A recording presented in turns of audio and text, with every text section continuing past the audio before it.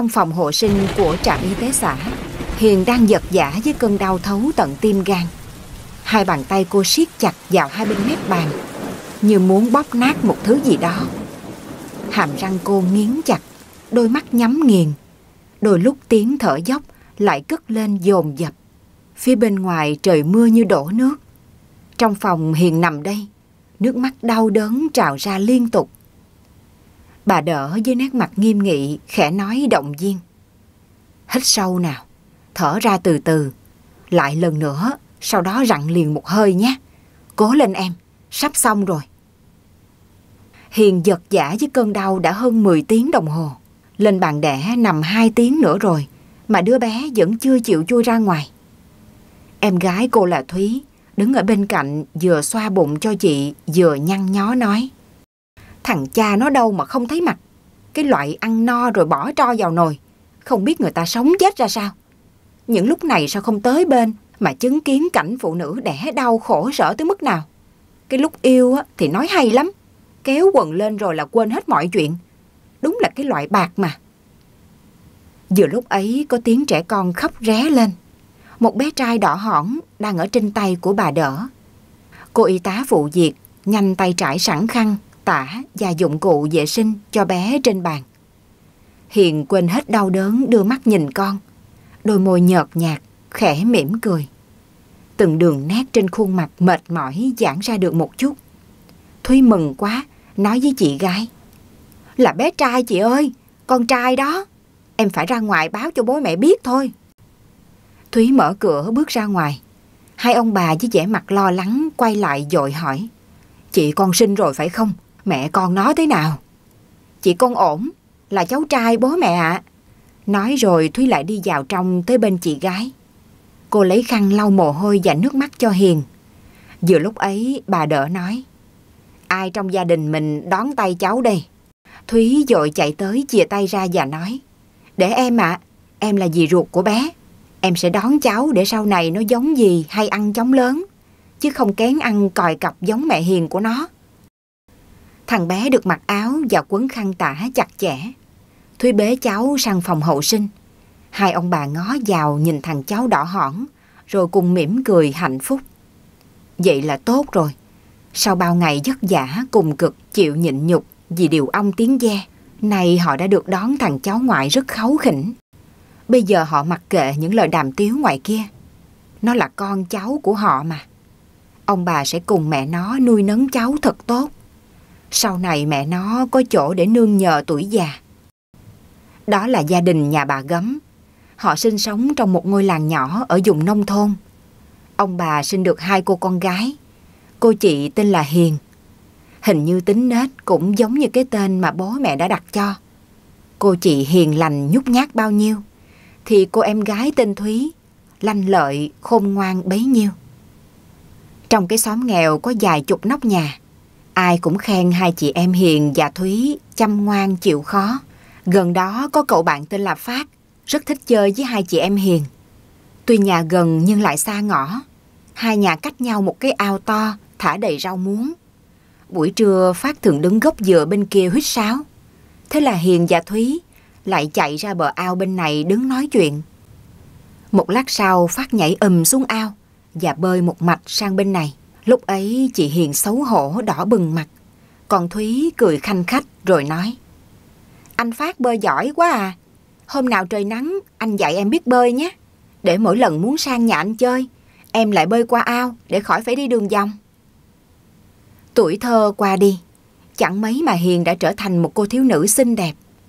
Còn Thúy, tuy kém chị 5 tuổi, nhưng lại lớn phỏng phao hơn cả chị Hiền. Một hôm Thúy nói với chị gái của mình. Chị Hiền ơi, chị thấy anh Phát có đẹp trai không? Lớn lên dứt khoát, em sẽ phải lấy bằng được anh Phát làm chồng. Bất ngờ mặt Hiền đỏ ửng lên, rồi tái dần đi. Mới 15 tuổi mà con Thúy nó đã biết thích anh Phát rồi. Lúc bấy giờ Hiền chỉ nghĩ rằng em gái mình nó còn trẻ con. Thích thì nói vậy thôi, chứ chưa biết yêu là gì. Rồi Phát đi bộ đội. Ba năm sau anh trở về nhà thì Thúy đã trở thành cô gái 18 xinh xắn nhất làng. Ba năm ấy, Hiền vẫn giữ trong lòng câu nói của Phát trước lúc chia tay. Hiền ơi, ở nhà chờ anh nhé.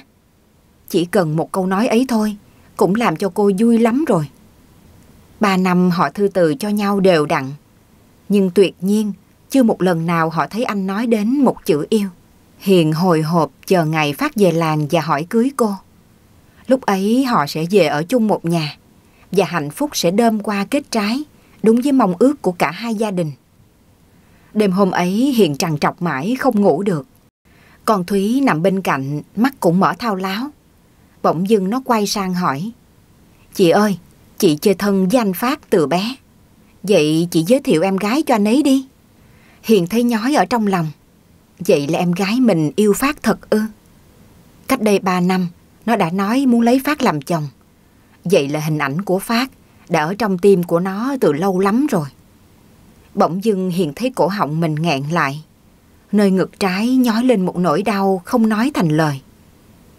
Thấy chị không nói gì, Thúy hỏi tiếp. Chị thấy thế nào? Nói thật nhé, em rất thích anh Phát. Em đợi ngày này đã ba năm nay rồi. Liệu rằng anh Phát có yêu em không? Chị phải giúp em đó nha. Hiền liền lưỡng lự hỏi. Em có thật lòng yêu anh Phát không? Đêm khuya, dưới ánh trăng mờ mờ xuyên qua cửa sổ, Hiền cảm nhận hai má của em gái mình đỏ ẩn lên, nóng rang. Nó dụi đầu vào cánh tay chị gái rồi nói. Có, em thích anh ấy từ bé kia kìa. Suốt đời này nếu không lấy anh Phát thì em sẽ không lấy ai đâu. Anh ấy vừa đẹp trai, vừa tốt bụng, lại ở gần nhà mình nữa. Lấy anh ấy rồi nếu bị mắng mà dỗi cơm, em chạy một mạch là về đến nhà để vét cơm nguội. Thế là không lo bị đói. Hiện nghe từng lời nói, nửa ngây thơ, nửa thật lòng của em gái, mà như bị cứa từng khúc ruột. Bản thân cô cũng yêu Phát từ lâu lắm rồi. Nhưng bây giờ cô mới biết một sự thật đau lòng. Đó là con Thúy cũng yêu Phát. Phải làm thế nào đây? Cô không thể rời xa Phát được. Mà cũng không thể để em gái đau khổ vì mình. Bất chợt Hiền thở dài rồi nuốt những giọt nước mắt vào trong. Bên cạnh con Thúy đã thở đều đều trong giấc ngủ say.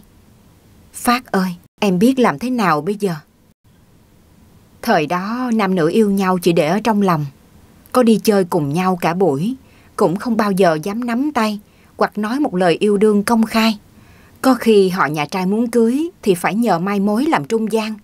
Rồi ý kiến của hai bên đều do bà mối nói qua nói lại với nhà trai và nhà gái. Bởi vậy Phát cũng rất yêu Hiền, nhưng anh chưa một lần ngỏ lời tỏ tình với cô. Sáng hôm sau, Thúy vừa quét sân vừa nhảy chân sáo có vẻ rất vui. 18 tuổi rồi mà vẫn còn như trẻ con. Nó ngây thơ đến lạ lùng. Nhìn em gái như vậy Hiền xót xa cho cuộc tình ngang trái này. Cô là chị nó kia mà. Cũng không thể giành người yêu với nó được. Nhưng nếu như vậy thì cô đau khổ vô cùng. Thấy chị gái đứng ngây người, con Thúy hỏi. Chị đang nghĩ gì thế? Có phải chị đang tính kế để nói chuyện với anh Phát giùm em không? Nói rồi nó đỏ ửng mặt lên cười bản lẻn. Nghe Thúy nói vậy mẹ cô liền lên tiếng. Chị còn chưa có người yêu thì em lấy chồng làm sao được. Mà mẹ nghe nói thằng Phát có người yêu rồi hay sao ấy. Chỉ là nó chưa công khai thôi. Con Thúy lúc bây giờ nghiêm nét mặt nói. Người yêu anh ấy là con chứ ai. Mẹ không biết đấy thôi. Hiền cúi mặt cười gượng. Mẹ cô không để ý gì đến biểu hiện của các con. Lại nói tiếp. Phải để chị con lấy chồng trước, sau đó mới tới lượt con. Không có nhà nào em lại đi lấy chồng trước chị. Rồi người ta lại bảo chắc con chị không ra gì nên bị ế. Thì con có nói là lấy chồng trước chị đâu. Con chỉ nhờ chị dắt mối con cho anh Phát thôi. Bọn con yêu nhau để đấy. Đợi chị lấy chồng xong, con mới cưới. Nghe con Thúy nói tới câu này, Hiền không cầm được nước mắt. Cô đi dội ra ngoài giường rẫy cỏ. Những nhát cuốc băm phầm phập xuống dưới đất, như thể chặt đứt chuyện tình yêu của cô và Phát. Nước mắt cứ thế rơi, thấm sâu xuống đất. Môi cô bị hàm răng cắn chặt, đến bật máu. Phát ơi, em biết làm sao đây? Tối hôm ấy Phát sang nhà Hiền chơi. Cô nằm im trong giường và kêu đau đầu. Còn Thúy ngồi cạnh liếu lo nói. Hôm nào anh Phát lại dạy em tập bơi nhé. Mẹ cô nhìn con gái rồi nói nhẹ. Lớn bằng từng này rồi, còn đòi anh dạy tập bơi. Không xấu hổ à? Xấu hổ gì mẹ? Ngày nhỏ anh ấy dạy chị Hiền giỏi lắm. Nhưng ngày ấy còn sợ chết chìm, nên không chịu xuống bơi. Hiền nằm trong nhà nước mắt chảy ướt đẫm gối. Những lời nói của con Thúy cứ như dùi vào tai cô, làm cô càng đau đớn và chua xót đến vô cùng. Những ngày sau đó Hiền đều tránh mặt Phát. Ra ngoài đồng nhìn thấy anh từ xa, cô liền đi lối khác. Khi Phát sang nhà chơi, cô lại kêu mệt nằm trong buồn. Bỗng dưng Hiền trở nên lầm lì ít nói. Cô gầy rạc đi, hai mắt thâm quần. Bố mẹ cô lo lắng hỏi. Con dạo này làm sao thế? Ăn uống thất thường, rồi có bữa ốm đấy. Con gái gì mặt mày xanh xao gầy nhom thế kia. Thấy vậy con Thúy lại vô tư nói. Cứ không chịu ăn cho nên chị con mới thấp bé nhẹ cân thế kia. Hàng xóm láng giềng lại bảo con ăn tham hết phần của chị. Hôm ấy Phát lại sang nhà Hiền chơi. Nhìn quanh không thấy cô đâu. Anh liền hỏi Thúy. Hiền đâu rồi em? Chị em đi chơi với bạn rồi. Anh hỏi chị em có chuyện gì không? À không, dạo này hình như anh thấy Hiền cứ tránh mặt anh sao ấy. Thúy cười khanh khách rồi nhìn anh nói. Anh hiểu lầm chị gái em rồi. Sao chị lại tránh mặt anh được kia chứ? Ngày nhỏ ba anh em mình cùng chơi rất thân với nhau mà. À anh này, hôm qua chị nói với em là chị ấy có người yêu ở làng bên. Thế là em nói luôn, có người yêu rồi thì chị cưới trước đi, để cho em còn cưới. Phát ngồi ngây người, lát sau anh chào bố mẹ Hiền xin phép ra về.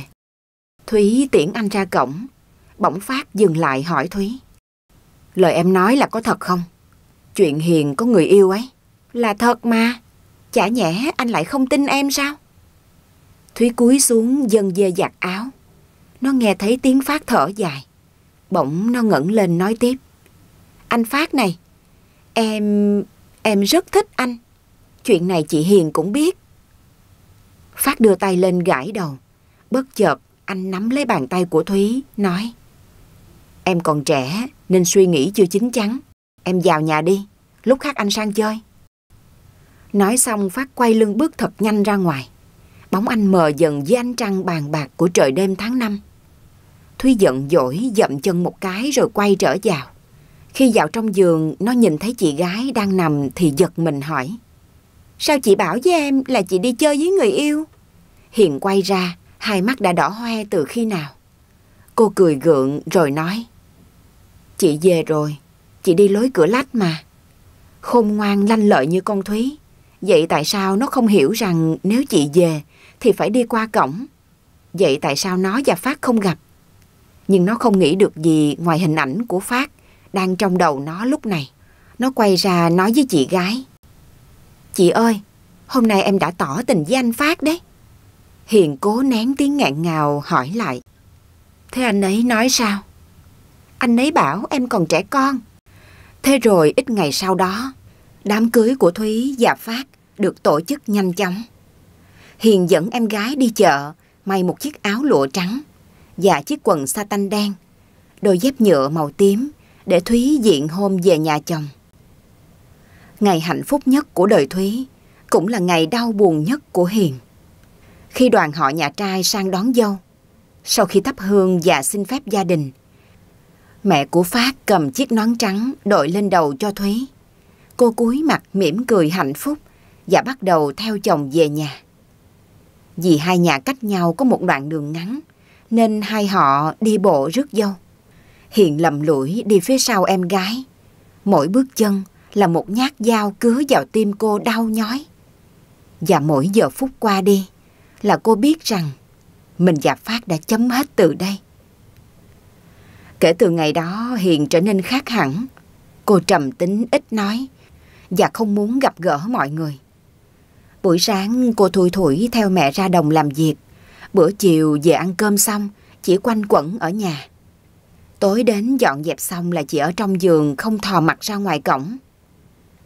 Những ngày có công việc, vợ chồng Thúy về nhà thì cô đều tránh mặt, không muốn nói chuyện cùng em rể. Khi ngồi mâm cơm quay quần cả nhà, Hiền ăn rất nhanh rồi lại đi ra ngoài dọn dẹp.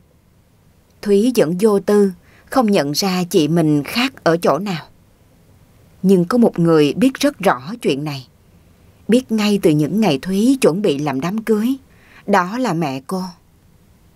Bà biết từ nhỏ Phát và Hiền dẫn quân quýt bên nhau, như thanh mai trúc mã. Nhưng không hiểu sao Phát lại chọn Thúy. Bà nghĩ rằng lớn lên Thúy trẻ trung xinh đẹp và lanh lợi hơn cô chị. Là đàn ông, ai chả thích lấy vợ trẻ đẹp. Vì Hiền và Phát bằng tuổi nhau, nên ngày Thúy còn nhỏ, Hiền đã là cô gái vừa độ chính. Nhưng sau 3 năm Phát đi bộ đội về, Thúy lại trở nên rực rỡ hơn cô nhiều. Nhưng không ai biết được rằng, ở đằng sau đám cưới của Thúy và Phát là cả một sự hy sinh lớn lao của Hiền. Rồi Thúy sinh một trai một gái. Những lúc bận rộn con nhỏ, Hiền lại sang giúp em làm mọi việc. Cứ mùa đến từ cấy lúa đến mùa gặt hoặc trồng màu vụ đông. Hiền không quản mệt nhọc mà giúp em mọi việc. Nhiều khi hai vợ chồng Thúy bận quá, còn mang cháu sang nhờ ông bà trông giúp. Hiền lại là người cho cháu ăn uống và tắm rửa sạch sẽ. Buổi tối vợ chồng Phát chỉ việc đón con về nhà cho chúng đi ngủ. Từ ngày Thúy đi lấy chồng, tới lúc hai đứa con đã lớn, chuẩn bị đến trường, Hiền vẫn ở nhà cùng bố mẹ, mà chưa có biểu hiện gì là đi lấy chồng cả. Lúc này cô đã là người phụ nữ ngoài 30. So với thời ấy thì là diện ế mất rồi. Không có ai muốn lấy một người phụ nữ quá tuổi như Hiền làm vợ. Ngoại trừ người đàn ông nào đó lỡ làng đứt gánh. Cũng có vài người mai mối dắt cho người đàn ông hoàn cảnh, nhưng cô đều từ chối. Thời gian cứ thế trôi đi, Hiền vẫn sống trong nỗi buồn giấu kín một mình. Bố mẹ cô nhìn con gái ngày một cao tuổi mà lo lắng. Rồi đùng một hôm, cái xóm nhỏ ấy bắt đầu xì xào bàn tán về một chuyện. Mấy bà hay để ý, bắt đầu to nhỏ nói chuyện với nhau. Nè, hình như con Hiền nhà bà gấm mang bầu hay sao ấy. Rõ gớm chưa? Hiền lành thế mà bây giờ cũng ẩn cái bụng ra rồi.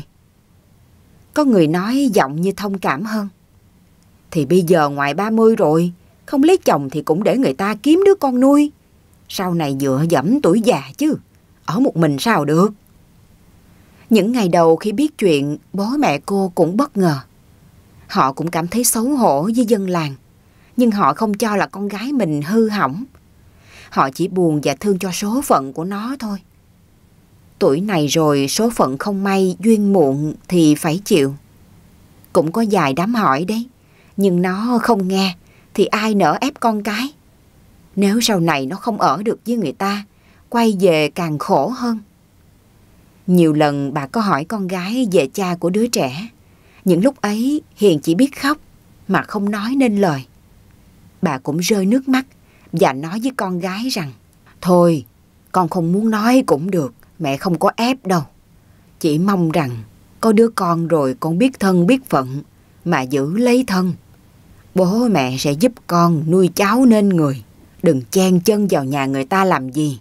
Nhỡ xảy ra xô xát thì nhục nhã lắm con ạ. Hiền nắm chặt tay mẹ, khóc nấc lên. Không đâu mẹ, con không muốn chen chân vào nhà ai hết. Nó chỉ là con của một mình con thôi. Sau này con sẽ nuôi nó nên người. Và nó sẽ không bao giờ biết bố nó là ai cả. Nói đến đây Hiền ôm chặt lấy mẹ khóc nức nở. Vừa lúc ấy Thúy cũng dẫn con về nhà. Định gửi bà và bá rồi đi làm. Thấy hai mẹ con khóc nức nở, cô liền hỏi. Mẹ và chị có chuyện gì thế? Bỗng cô đưa mắt nhìn chị gái xanh sao Bàn tay gầy guộc đang nắm chặt cái giặt áo. Cố kéo ra ngoài che cái bụng lùm lùm. Thúy trợn mắt hỏi dội vàng. Chị, có phải... Chị có rồi không? Bỗng dưng nét mặt của Hiền tái nhợt, miệng lắp bắp không nói thành câu. Thúy ngồi sụp xuống, lấy tay giặt áo của chị lên. Cái bụng tròn tròn của Hiền lộ ra trước mắt. Thúy lại hỏi tiếp. Đúng rồi, sao chị phải giấu? Em là em gái của chị kia mà. Nó được mấy tháng rồi, bố nói là ai? Hiền khóc như mưa, cô nói nghẹn ngào. Ba tháng rồi em, chị khổ quá em ơi. Thúy ôm chặt lấy chị. Lát sau cô buông chị ra, rồi nói nghiêm nghị. Bố của đứa bé là ai? Chị nói cho em biết đi. Em sẽ đến bắt lão phải chịu trách nhiệm, chứ không thể đánh trống bỏ dùi được. Hiền ngước đôi mắt mọng đỏ lên nhìn rồi khẽ lắc đầu. Sau đó cô từ từ cúi xuống, không dám nhìn vào đôi mắt dò xét của em gái mình. Bỗng cô giật nảy người vì tiếng của Thúy nói to. Sao chị phải ngại nhỉ? Đằng nào thì chuyện cũng đã rồi. Mình không công khai, nhưng cũng phải để người nhà biết. Chị không dám nói thì để em. Em bắt lão ấy phải chu cấp tiền cho chị nuôi đứa bé chứ. Lúc bấy giờ bà gấm mới nói nhẹ nhàng. Chị con nó không muốn nói thì thôi, mà cũng không nên bắt dạ người ta làm gì. Nhỡ đâu người ta còn vợ con, còn gia đình. Lộ ra mà tan cửa nát nhà thì mình cũng chả vui vẻ gì. Bố mẹ già rồi, không muốn chịu cảnh người khác đến chửi rủa nhà mình đâu. Thôi con ạ, cũng là cái số chị con nó vất vả. Cứ để nó sinh con ra, bố mẹ sẽ phụ nó nuôi cháu. Sau này bố mẹ có về già, nó còn có chỗ dựa. Còn có nơi có chốn rồi, chỗ này để cho chị con và cháu ở. Thúy thở dài đưa mắt nhìn ra ngoài. Chị mình vốn dĩ hiền lành nhút nhát. Vậy tại sao lại để xảy ra chuyện này cơ chứ?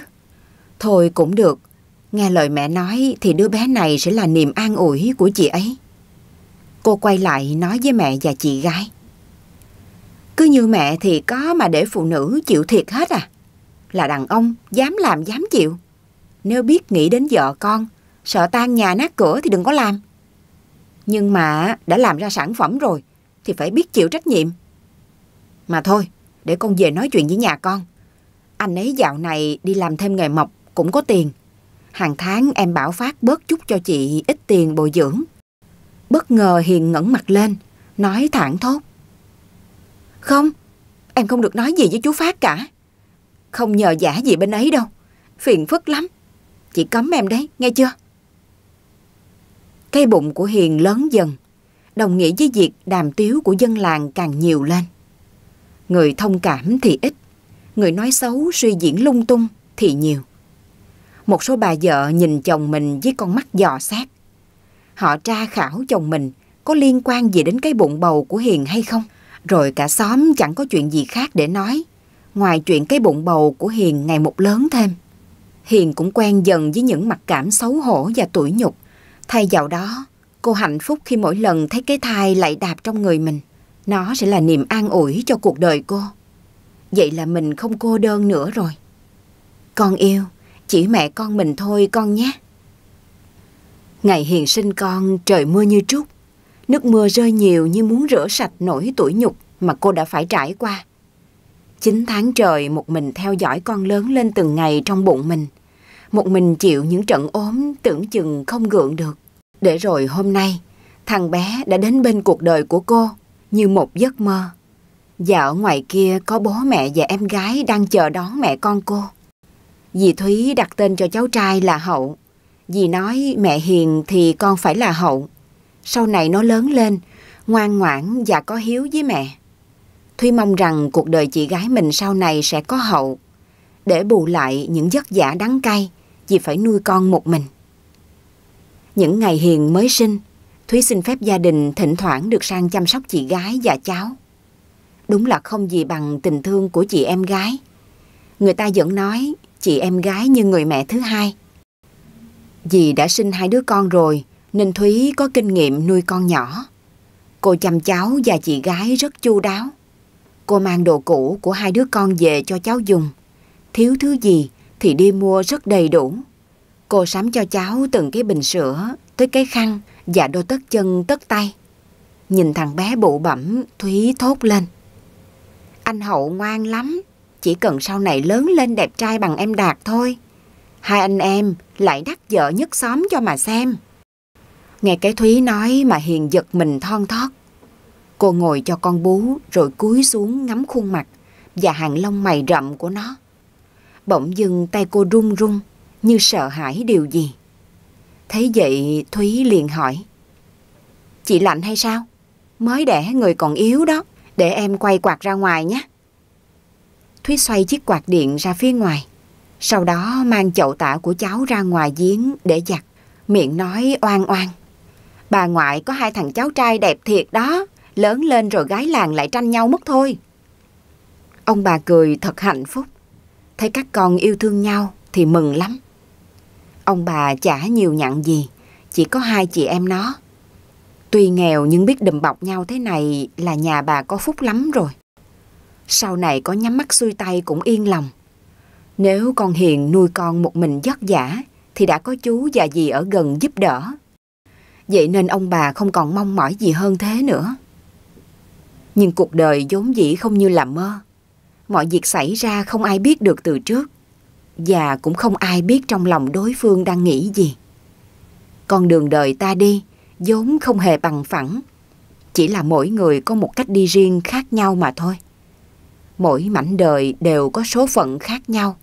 Kể cả anh chị em ruột, dù thương nhau đến mấy, cũng không thể sống hộ nhau được. Mà chỉ là giúp nhau ở mức độ nào đó mà thôi. Ngày tháng êm đềm qua đi, tưởng rằng cuộc sống cứ như vậy mà tiếp diễn. Nhưng không ngờ chuyện lớn đã xảy ra khi cô hậu càng lớn, càng giống cô Đạt như đúc. Mà cô Đạt thì lại giống hệt bố nó. Người trong nhà không nhận ra, nhưng hàng xóm thì lại rất tin tưởng. Nhất là mấy bà hay để ý chuyện giặt rồi cùng nhau bàn tán. Có khi ở đầu làng chuyện bằng con ruồi, nhưng tới giữa làng nó đã thành con voi mất rồi. Chuyện cô hậu giống thằng em con dì ruột như đúc đã bắt đầu thành tâm điểm bàn tán của mấy bà nhiều chuyện. Lâu ngày rồi nó cũng đến tai của Thúy. Cô ngắm con trai mình và thằng cháu con của chị gái. Đúng là chả khác nhau chút nào. Chỉ là một đứa 8 tuổi và một đứa 3 tuổi mà thôi. Từ trước tới giờ, Thúy không bao giờ nghi ngờ chồng mình một việc gì. Nhất là chị gái, cô tin tưởng chị tuyệt đối nên đã không nghĩ đến việc này. Lấy chồng gần 10 năm rồi, thời gian này cô mới có dịp nhớ lại toàn bộ sự việc từ trước tới nay. Hình như trước khi lấy cô, Phát có yêu chị Hiền thì phải.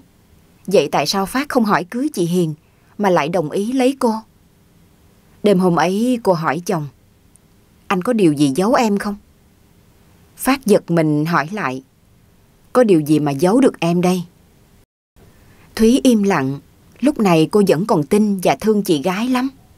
Nhưng những thắc mắc trong đầu và những lời nói của dân làng cứ văng vẳng bên tai cô. Trằn trọc một lúc, vẫn không ngủ được, Thúy lại quay sang hỏi. Trước khi lấy em, anh có yêu chị Hiền không? Em hỏi linh tinh gì thế? Khuya rồi, ngủ đi. Thúy ngồi dậy nhìn thẳng vào mắt chồng hỏi lại. Anh trả lời em đi. Anh có yêu chị Hiền không? Chuyện qua lâu rồi, em không nên nhắc lại làm gì. Quan trọng là bây giờ chúng mình đã có hai đứa con và đang sống rất hạnh phúc bên nhau đó thôi. Nhưng chuyện thằng Hậu giống cô Đạt nhà mình là không phải chuyện ngày xưa. Dân làng đang nói ầm lên kia kìa. Phát lạnh toát người, nói giọng run run. Em không nên nói linh tinh. Bố mẹ và chị Hiền nghe thấy là không hay đâu. Bỗng Thúy gắt lên. Em không nói linh tinh. Chị Hiền không nói cho ai biết chuyện bố của thằng bé là ai. Nhưng nếu sự thật anh là bố nó, thì không bao giờ em để yên. Anh biết tính em rồi đó. Em mà đã thương ai, thì quên cả mạng sống của mình. Có thể nhịn ăn để nhường cơm cho người ấy. Nhưng có một thứ em không bao giờ chịu nhường, kể cả chị gái ruột của mình. Đó là chồng của em, anh hiểu chưa? Phát kéo Thúy nằm xuống ôm chặt lấy cô dỗ về. Được rồi, được rồi, chồng em thì chỉ có một mình em thôi. Không bao giờ chia sẻ được cho người khác, rõ chưa? Thúy nằm im trong lòng chồng. Nghe những lời anh nói thì cô an tâm phần nào. Nhưng tại sao hình ảnh của cô hậu cứ lẫn vẫn trong đầu cô, làm cô không tài nào ngủ được. Từ đôi mắt to, hàng lông mày rậm và cái mũi thẳng, không lộn đi đâu được. Cô bỗng nhắm mắt lại và suy nghĩ. Ở ngoài xã hội cũng có rất nhiều người giống nhau đấy thôi. Nhưng tại sao trong lòng cô cứ thấy có cái gì đó như không ổn? Chị gái của cô không bao giờ lại làm vậy với cô. Nghĩ ngợi một hồi lâu, rồi Thúy từ từ nhắm mắt lại và ngủ thiếp đi. Thời gian này Hiền luôn trong tâm trạng bất an. Thay vì niềm hạnh phúc khi nhìn con trai càng ngày khôn lớn, cô lo lắng nhìn thằng con trai càng lớn, gần như bản sao của thằng em con của dì nó. Hiền làm quần quật suốt ngày diệt đồng diệt nhà, cộng thêm lo lắng nên cô gầy rộc đi. Rồi cô lăn ra ốm, Thúy phải đưa chị ra trạm y tế xã để tiêm.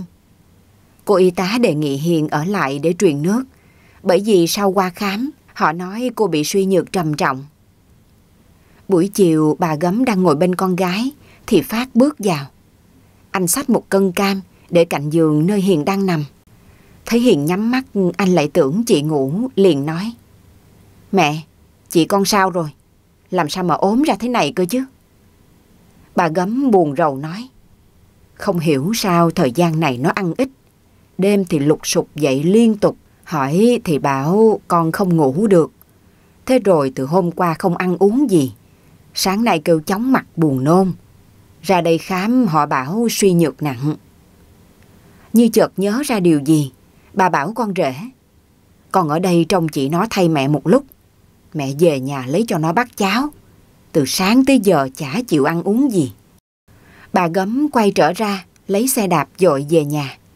Phát từ từ ngồi xuống bên Hiền, nhẹ nhàng nắm lấy bàn tay gầy guộc xanh xao của Hiền. Lúc này cô từ từ mở mắt. Thấy Phát, cô giật mình định ngồi dậy. Anh liền đặt tay lên vai ấn Hiền nằm xuống rồi nói. Em nằm yên đó đi, đang truyền nước kia mà. Hiền ngơ ngác nhìn quanh không thấy mẹ mình đâu.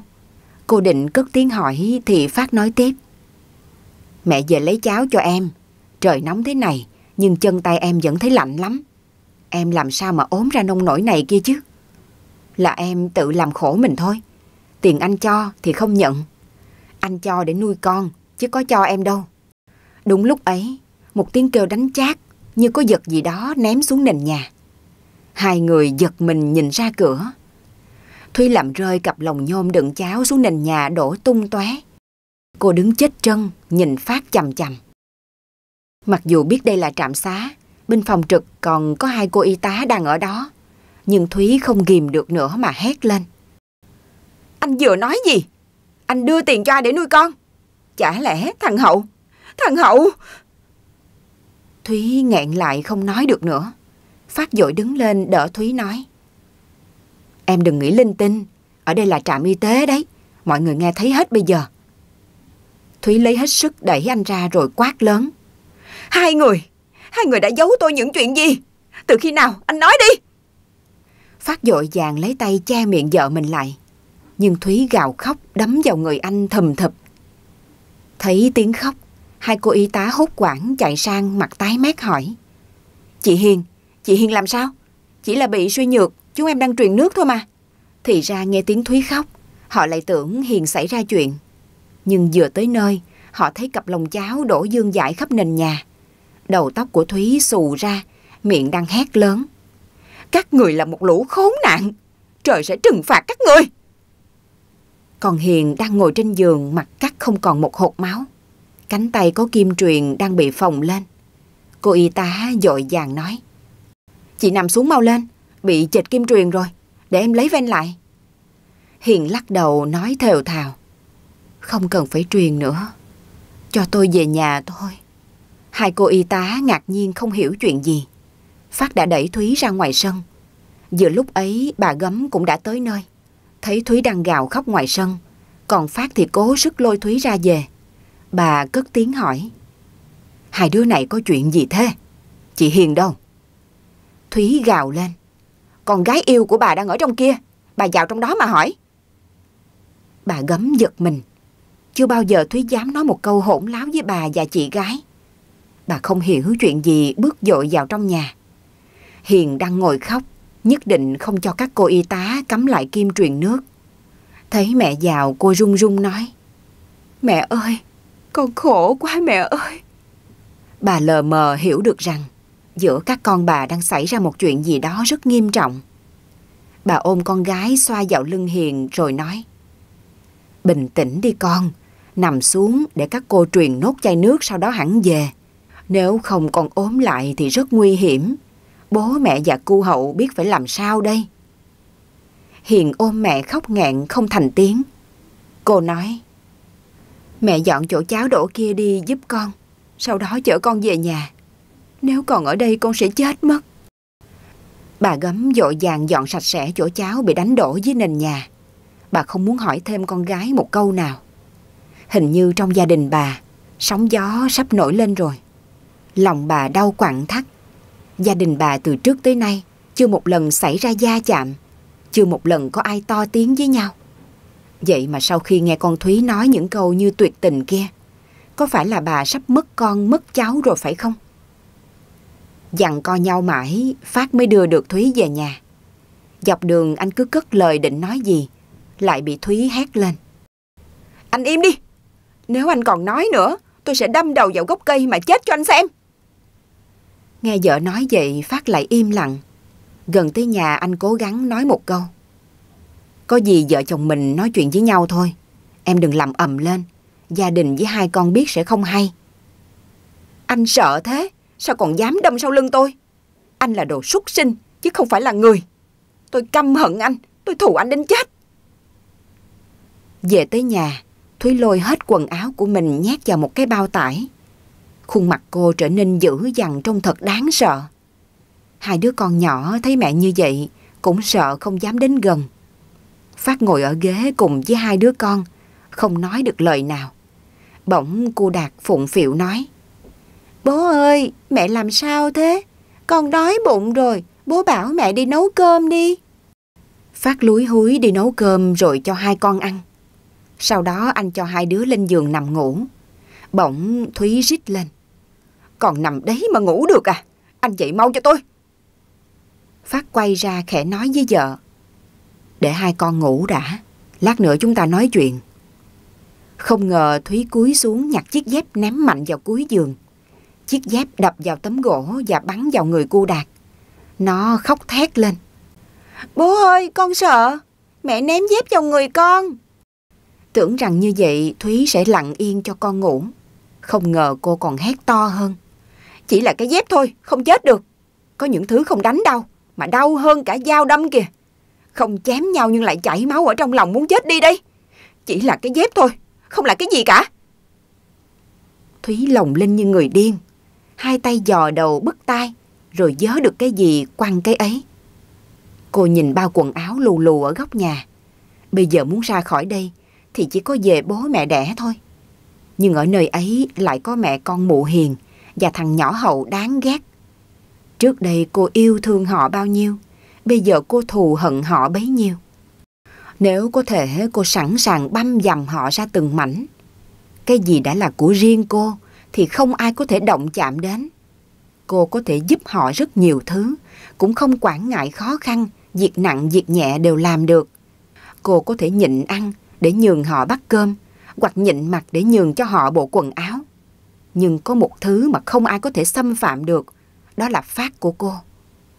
Anh là tài sản riêng, chỉ có cô mới được quyền sở hữu anh thôi.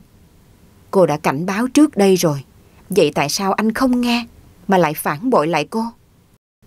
Thấy Phát vẫn nằm im, Thúy đến bên nghiến răng nói. Anh dậy mau, dậy sang bên nhà cùng với tôi. Ba mặt một lời, nói thằng Hậu là con ai? Hai người gian díu với nhau từ bao giờ? Trước kia yêu nhau, tại sao không cưới mà lại đi cưới tôi? Để bây giờ đâm một nhát chí mạng đằng sau lưng tôi đau đến thế này.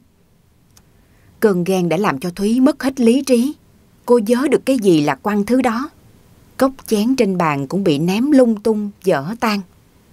Đúng là ngứa ghẻ đòn ghen, không sai một chút nào. Thúy gào lạc cả giọng, cô hầm hầm bước ra sân, rồi chạy sang bên nhà bố mẹ đẻ. Vừa tới cửa, chưa kịp nhìn thấy ai, Thúy vừa khóc, vừa gầm gào như cha chết, mẹ chết. Bố mẹ đâu? Ra mà xem con gái yêu quý của hai người. Nó cướp chồng của em gái, rồi đẻ ra thằng bắt con kia đấy. Hai người yêu thương đùm bọc nó nhiều vào, rồi cả con nữa. Thường nó cho lắm vào, để bây giờ nó cướp chồng con. Trời ơi, con muốn đâm đầu vào tường mà chết đi. Chết đi cho đỡ nhục. Tôi hận bà, tôi căm thù bà. Nếu có thể tôi sẽ xé xác bà, cùng với thằng con kia ra làm trăm mảnh tôi mới hả dạ. Hai ông bà cùng nhau ra giữ con gái lại. Thúy vẫn gào khóc, dãy dụa như kẻ điên. Hiền ngồi trong nhà ôm thằng con lên ba, nước mắt chảy ròng ròng. Ruột gan cô đau như cắt. Thật là nhục nhã, không để đâu cho hết. Tại sao cô lại dướng vào dòng luẩn quẩn như thế này cơ chứ? Ngay lúc này cô muốn bỏ đi thật xa, đi đến một nơi nào mà không có ai biết mẹ con cô. Nhưng bây giờ cô biết đi đâu, trong khi cô đang ốm yếu như thế này. Hình như đã mệt, Thúy ngồi bệt ngoài cửa, không gào lên nữa. Mặt hầm hầm đỏ như gà cắt tiết, đầu tóc xù ra như quả đánh. Hai ông bà thấy vậy, nghĩ Thúy đã nguôi nguôi, nên đành vào trong nhà ngồi. Bất ngờ Thúy đứng lên, đôi mắt đỏ ngầu long lên sòng sọc. Cô đưa mắt tìm thứ gì đó. Khi nhìn thấy chiếc kéo ở trên bàn, cô dồ lấy nó và chạy vào trong chỗ hiền. Bà gấm dội chạy theo vừa khóc vừa nói. Thúy ơi mẹ xin con, dù sao nó cũng là chị gái của con kia mà. Nó quá lứa lỡ thì muốn kiếm lấy đứa con để nuôi. Rồi từ đấy nó có qua lại với ai nữa đâu. Tha cho chị con đi có được không? Mẹ xin con đó. Thúy không nói không rằng, bước một mạch đến bên Hiền.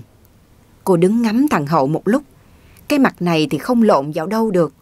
Chính xác nó là con của Phát rồi. Vậy hai người đã dụng trộm với nhau từ khi nào mà cô không biết?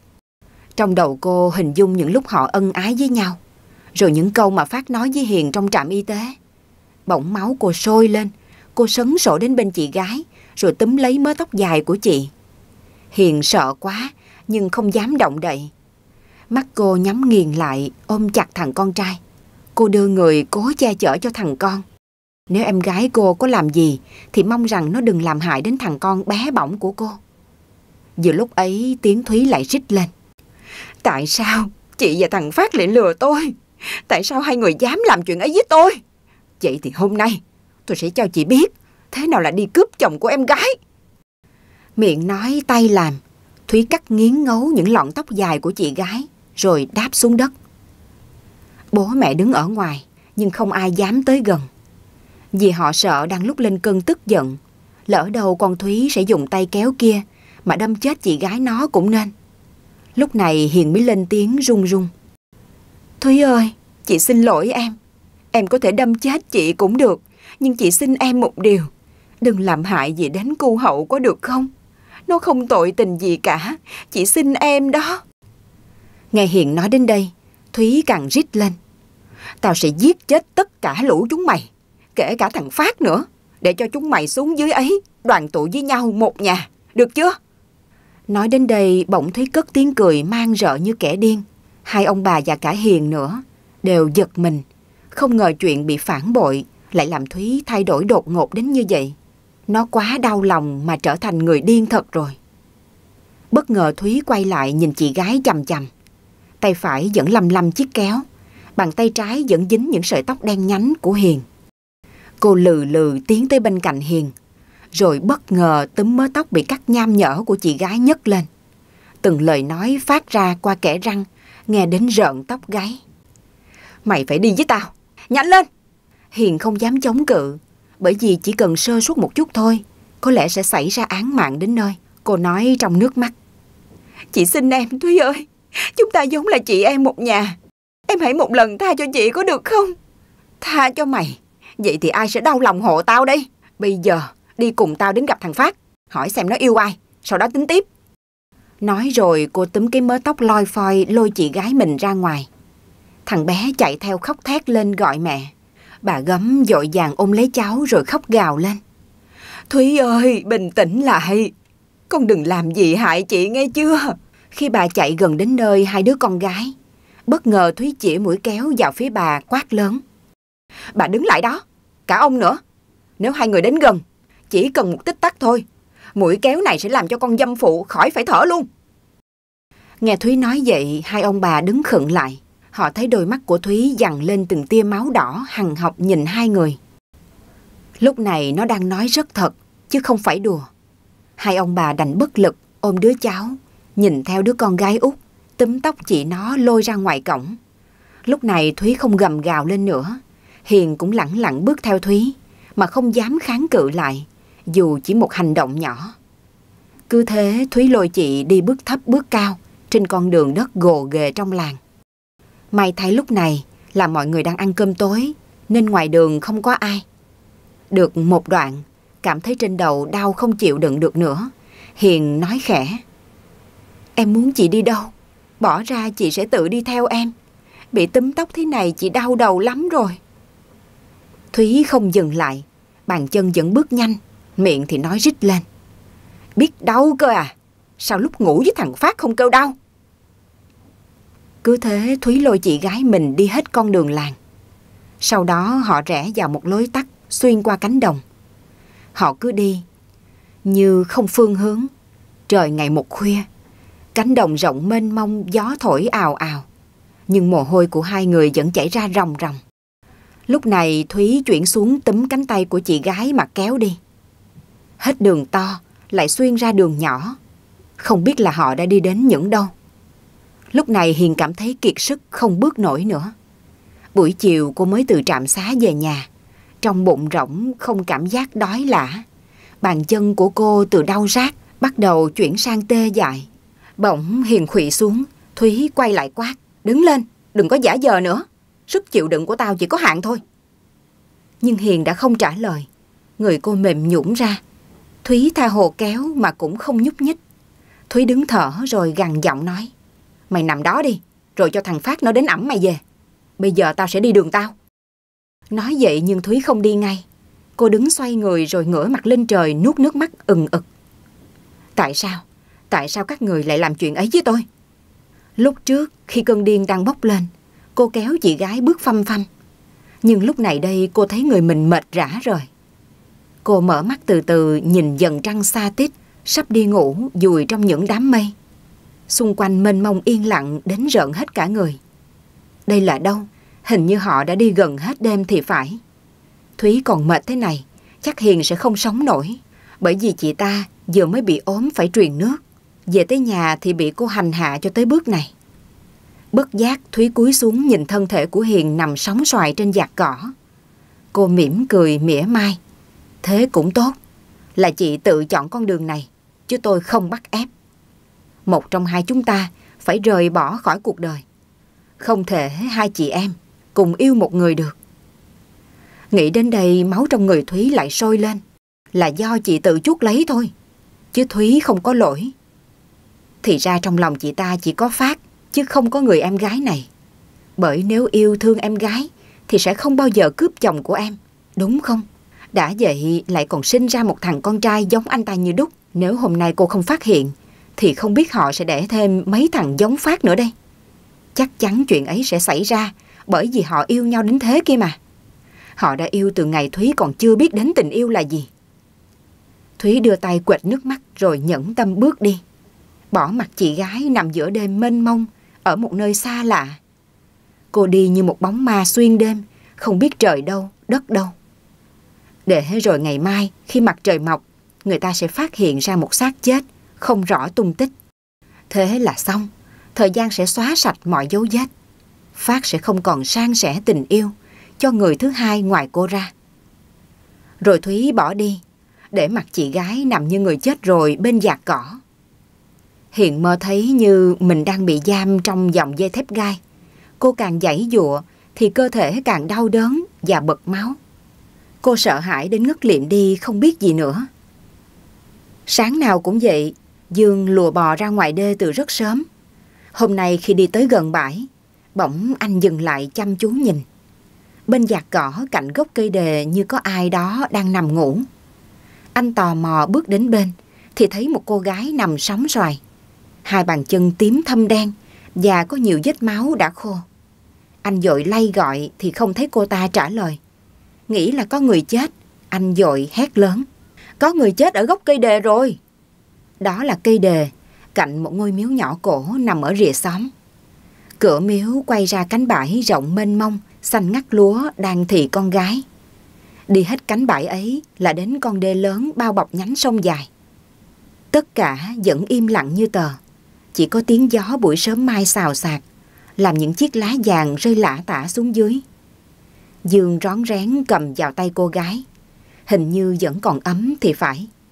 Anh lại từ từ đặt bàn tay mình lên trán cô ấy. Bỗng anh rụt ngay lại vì cảm giác nóng bỏng truyền qua da tay anh.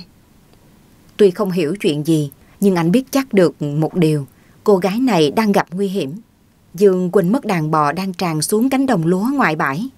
Anh cúi xuống bế cô gái, và nhanh chân bước vào trong làng. Vì mới sáng sớm nên ít nhà mở cửa, nhưng anh cũng không dám vào nhà ai. Bởi vì trong cái làng này không có ai coi anh là con người bình thường cả. Họ vẫn quen gọi anh là thằng Dương Ngố chăn bò thuê mà thôi. Anh bế cô gái đi một mạch về nhà mình. Sau khi lấy chìa khóa mở cánh cửa gỗ ọp ẹp, anh bước vào trong nhà và đặt cô gái lên giường của mình. Chỗ hai cánh tay của anh, người cô gái áp vào lúc này, nóng như ngồi gần bếp lửa. Nhìn cô gái đang mê man bất tỉnh, Dương nhớ lại những lần anh bị sốt. Mẹ anh thường lấy khăn nhúng nước, rồi dắt kiệt, sau đó lau khắp người cho anh. Cuối cùng thì bà đắp khăn lên trán. Anh cũng làm như vậy cho cô gái, phải mất một lúc lâu mà người cô vẫn rất nóng. Anh chạy ra bụi chuối ngoài giường, thò tay bới tìm củ chuối đã bị thối dưới lòng đất. Sau đó mang cái thứ đèn xì ương ướt ấy, gói vào chiếc áo của mình và đắp lên trán cho cô gái. Một lát sau cô gái cũng hạ bớt cơn sốt, đôi mắt sưng húp hé mở. Dương xách chiếc ấm nhôm méo mó ở góc nhà, rót nước vào chiếc gáo dừa. Sau đó lấy thìa bón từng miếng vào miệng cho cô gái. Vậy là sống rồi. Dương chưa kịp vui mừng thì ở ngoài cửa có tiếng quát lớn. Thằng Dương đâu? Mày làm gì mà để bò ăn hết lúa ngoài đồng rồi? Lần này thì tao không thể tha cho mày được nữa. Bán cả đất đai nhà mày đi, cũng không đủ tiền đền cho người ta đâu. Đồ ăn hại. Thì ra mãi lo cứu cô gái mà Dương quên mất đàn bò. Nó không được lùa lên đê để ăn cỏ, mà tự do tràn xuống cánh bãi để ăn lúa. Đúng lúc ấy một người đàn ông hùng hổ bước vào. Ông ta nhìn cô gái nằm trên giường thì có chút ngạc nhiên. Sau đó liền kéo Dương ra ngoài. Bàn chân dày của ông ta cứ thế đạp liên tiếp vào người Dương. Miệng chửi không tiếc lời. Loại mày mà cũng biết đưa gái về nhà à. Thảo nào bỏ bê công việc, phá hại bao nhiêu của nã nhà tao. Từ nay khỏi phải đi chăn bò, rõ chưa? Lần trước mày đã làm mất của tao một con. Nhưng vì thương hại hoàn cảnh, tao lại cho mày tiếp tục công việc để lấy thứ mà da vào mồm. Vậy mà mày vẫn không chừa. Con bò của tao nó có giá trị gấp ngàn lần cái mạng của mày đấy. Mất một con là tao mất một khoản tiền lớn. Còn cái xác mày đem phơi ra giữa ngã ba không ai thèm nhặt. Mày chết đi được rồi, cho đỡ chọt đất. Cô gái trong nhà cũng đã nghe thấy tất cả, nhưng chưa rõ đầu đuôi câu chuyện. Vì lúc này đầu óc cô chưa hoàn toàn tỉnh táo. Cô gái đó chính là Hiền, không ai khác. Khi Thúy bỏ đi, Hiền cảm giác người mình như đã kiệt sức. Chỉ có thở thôi, cũng cảm thấy khó nhọc. Nhưng cô vẫn đủ tỉnh táo để biết sợ hãi. Lúc này ánh trăng đã lặn, xung quanh cô là màn đêm đặc quánh. Trước mắt cô là bóng của những lùm cây to nhỏ cao thấp. Mắt cô qua lên, hình dung ra đủ hình thù kỳ quái. Cô cố bò đến gần gốc cây thì không biết gì nữa. Khi đã đánh thằng chăn bò thuê một trận như tử, biết có đánh chết nó cũng không giải quyết được chuyện gì. Lão chủ đàn bò đành hậm hực bỏ đi. Dương cố ngồi dậy rồi tập tỉnh bước vào trong nhà. Quần áo tả tơi như tàu chuối gặp bão mặt mũi đầy những vết đánh dọc ngang, vừa tím vừa đỏ. Tuy đau, nhưng Dương vẫn không hé răng suýt xoa một lời, bởi vì đây không phải là lần đầu tiên anh bị đòn. Hiền chống tay xuống giường cố ngồi dậy, toàn thân đau ê ẩm, đầu nặng trĩu, hai mắt sưng hấp cảm giác không mở ra được. Thấy vậy Dương tới bên rồi dội nói Em gái dậy được rồi à, có mệt không? thì nằm xuống anh đi nấu cháo cho ăn nhé. Hiền cố hé đôi mắt sưng mọng lên hỏi thều thào. Anh là ai thế? Anh là Dương chăn bò. À mà không, từ nay anh không chăn bò nữa rồi. Sáng nay anh thấy em nằm ở gốc cây đề cạnh miếu. Người em bị nóng nên anh đưa về nhà đắp củ chuối thối. Bây giờ hết sốt rồi đây này. Dương đưa bàn tay áp vào trán của Hiền cái miệng nở một nụ cười thật tươi. Đôi mắt có vài vết tím sáng lên. Em nằm xuống đi, anh sẽ đi nấu cháo, chúng mình cùng ăn. Nói rồi Dương mở cái chum to ở góc nhà. Anh cúi người xuống, thò tay vào trong nhấc cái túi nhỏ ra ngoài. Sau đó lấy một ít gạo, mang xuống bếp, chuẩn bị nấu cháo. Lúc này Hiền mới đưa mắt quan sát xung quanh. Hai gian nhà bằng đất chắc là đã dựng từ lâu. Chân tường mọt nhiều chỗ, mái tranh nhiều chỗ thâm lại chắc gì dột. Giữa nhà có một chiếc bàn gỗ đã cũ, đặt hai cái bát hương, trên vách là hai tấm ảnh đen trắng đã ố. Tài sản trong nhà duy nhất có một chiếc giường mà cô đang nằm. Ở góc nhà có cái chum rất to, chắc là chỗ để Dương đựng đồ đạc. Hiền dịch người ra mép giường, cô thò chân xuống dưới nền nhà, định bước ra ngoài. Nhưng bàn chân cô đã sưng hấp vì những vết đau. Lúc này cô mới dần dần nghĩ lại mọi chuyện. Cô lờ mờ như mình vừa trải qua một chuyện gì đó rất sợ. Tại sao mình lại ở đây? Hiền đưa tay sờ lên đầu. Bỗng dưng cô giật mình vì mớ tóc một nửa cục lởm chởm. Một nửa còn loi phoi mấy sợi dài. Bỗng giọt nước mắt cay đắng bắt đầu ứa ra từ khóe mắt. Cô nhắm mắt lại và không muốn nhớ gì thêm.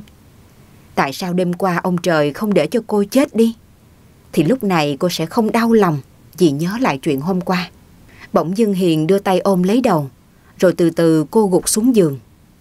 Cô cảm thấy đầu óc mình như có ai đó cầm cái búa dán vào.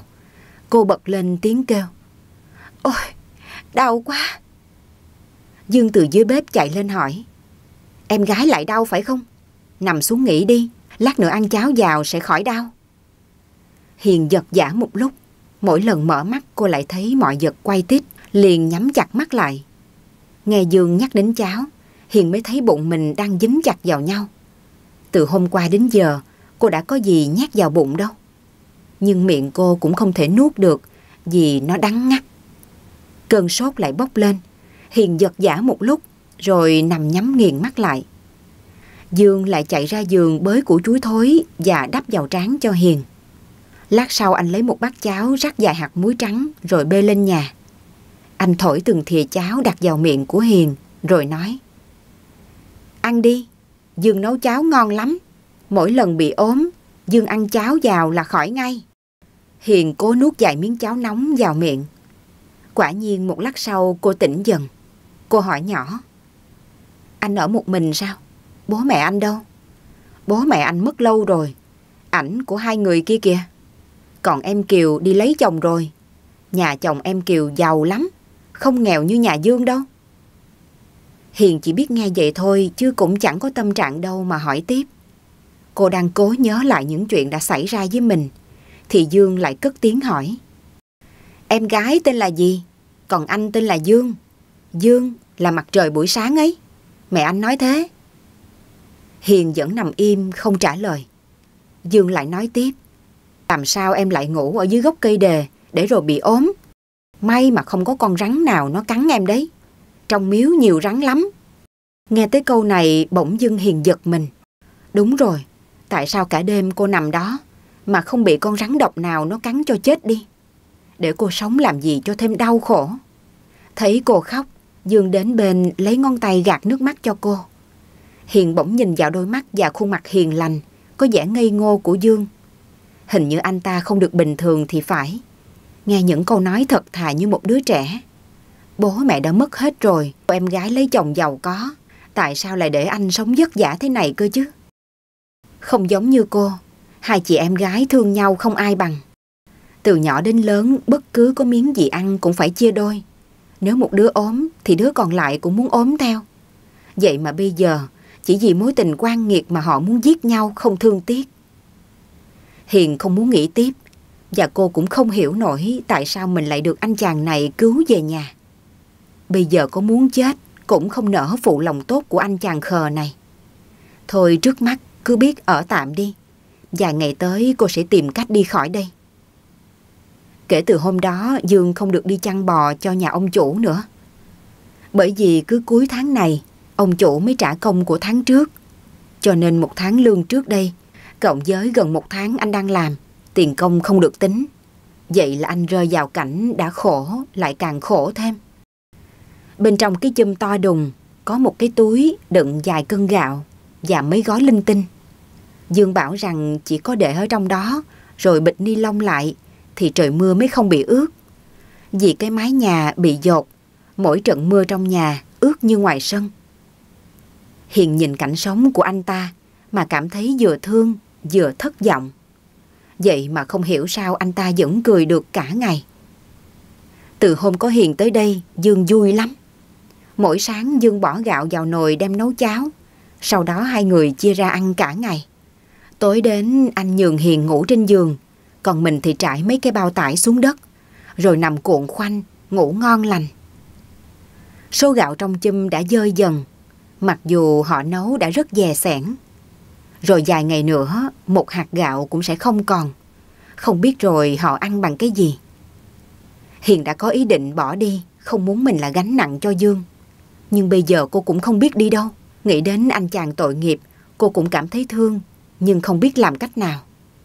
Tuy chân vẫn đau, nhưng cô tập tỉnh bước ra ngắm khu giường của nhà Dương. Cỏ dại mọc rậm rịch, cây ăn quả cằn cỗi, những bụi chuối tơi tả còi cọc trơ cả gốc lên. Mãi ngắm một lúc, Hiền quay ra nói. Anh dọn cỏ đi rồi trồng cây. Chỗ nào quang đất, giải nắng, mình sẽ trồng rau để ăn hàng ngày. Giường nhà anh rộng lắm, nếu cải tạo đất sẽ trồng được rất nhiều cây ăn quả và rau xanh đó. Thế là hàng ngày Hiền và Dương lụi cụi dọn cỏ giường. Được đám đất trống sạch sẽ nào cô lại xới lên và đánh những cây rau mọc xen trong đám cỏ ra trồng. Tới bữa Hiền cắt chuối xanh về luộc, hai người cùng ăn ngon lành. Sang tới ngày thứ ba, Dương đứng ngắm đám giường đã gần sạch hết cỏ rồi nói. Em Hiền giỏi lắm, giường nhà đẹp quá. Thấy Dương vui, Hiền cũng nói. Chỉ một tháng nữa thôi là anh sẽ có rất nhiều rau để ăn. Những chỗ kia đem trồng khoai mì, 6 tháng sau đào củ để luộc, cũng ăn được ít ngày đấy. Giường nhà anh rộng thế này, mà để quan lâu nay phí quá. Bỗng hai người giật mình vì có tiếng một cô gái quát lớn. Trời ơi, ông Dương đâu rồi? Tôi cũng đến chết với ông mất thôi. Đã bảo là chịu khó mà làm. Chú ý trong đàn bò cho người ta lấy tiền mà ăn. Ông làm ăn thế nào để người ta gọi tôi về bắt đền vì bò ăn lúa kia? Hiền quay lại nhìn, một cô gái khoảng kém tuổi mình, dáng người cao to, đang đứng giữa sân quát tháo. Hiền đoán ngay đây là em gái của Dương.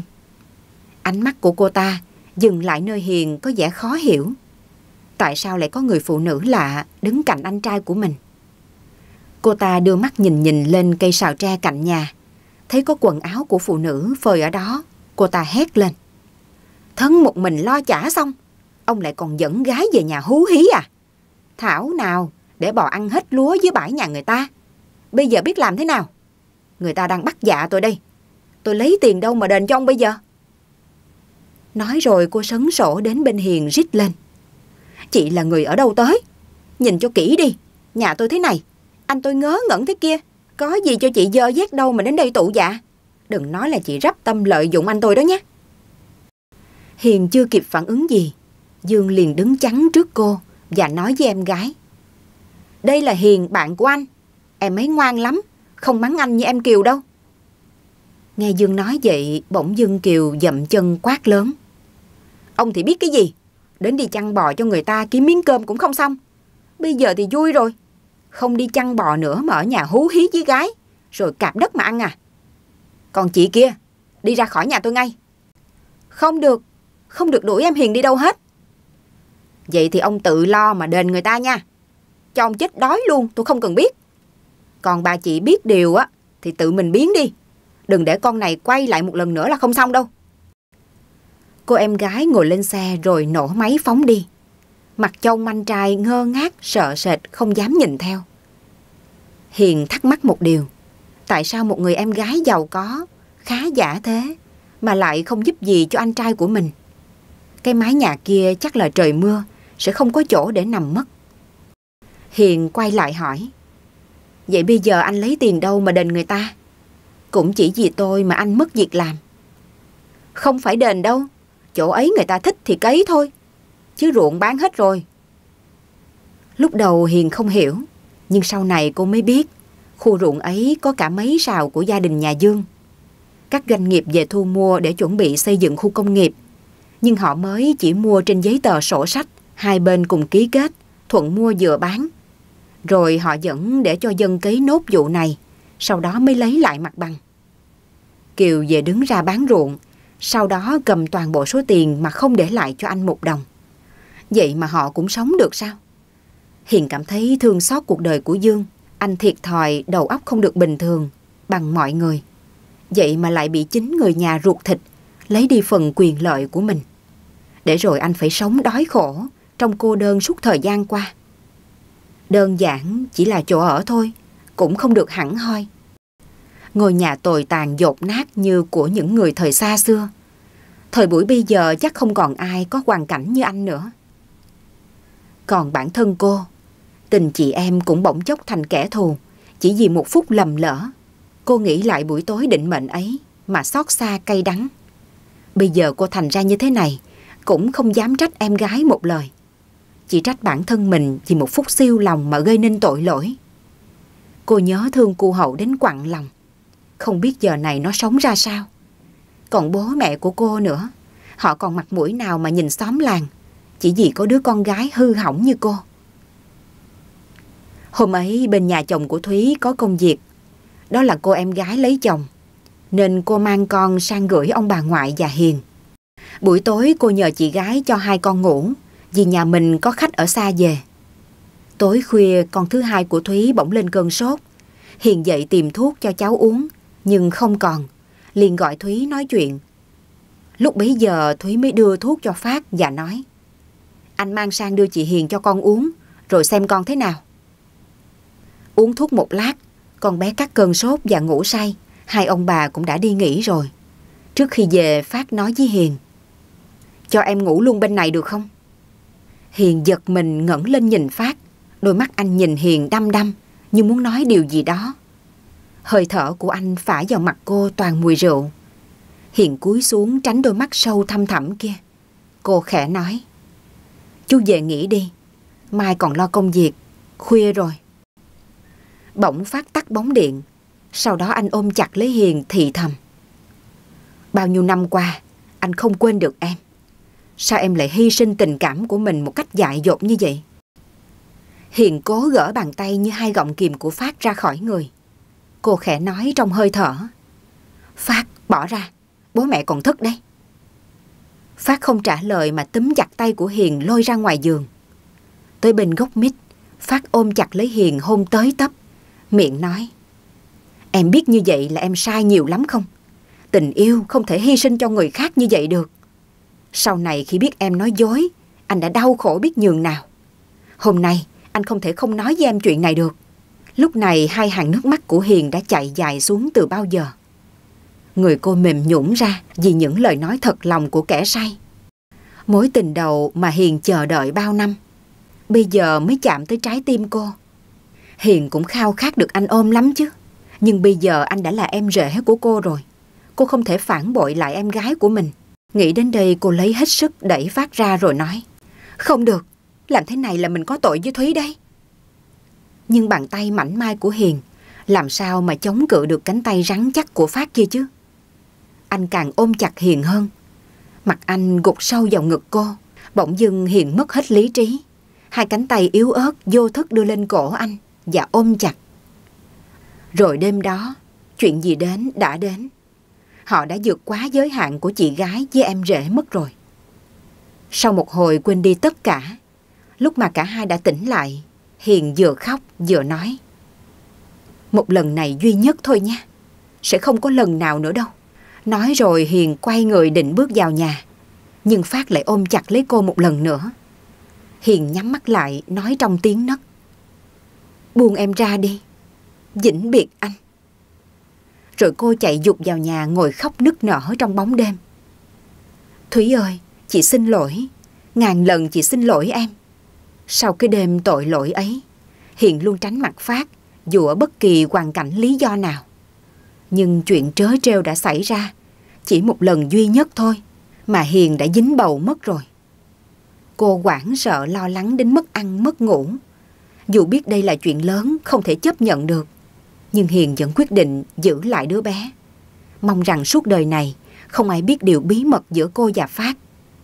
Điều bí mật ấy đã được giấu kín trong suốt 4 năm trời. Nhưng tại sao hôm ấy cô lại bị ốm? Nếu Phát không đến thăm cô trong trạm xá thì đã không xảy ra chuyện gì. Nhưng một điều nữa làm cho cô luôn hoảng sợ là vì thằng bé lớn lên càng ngày càng giống phát như đúc.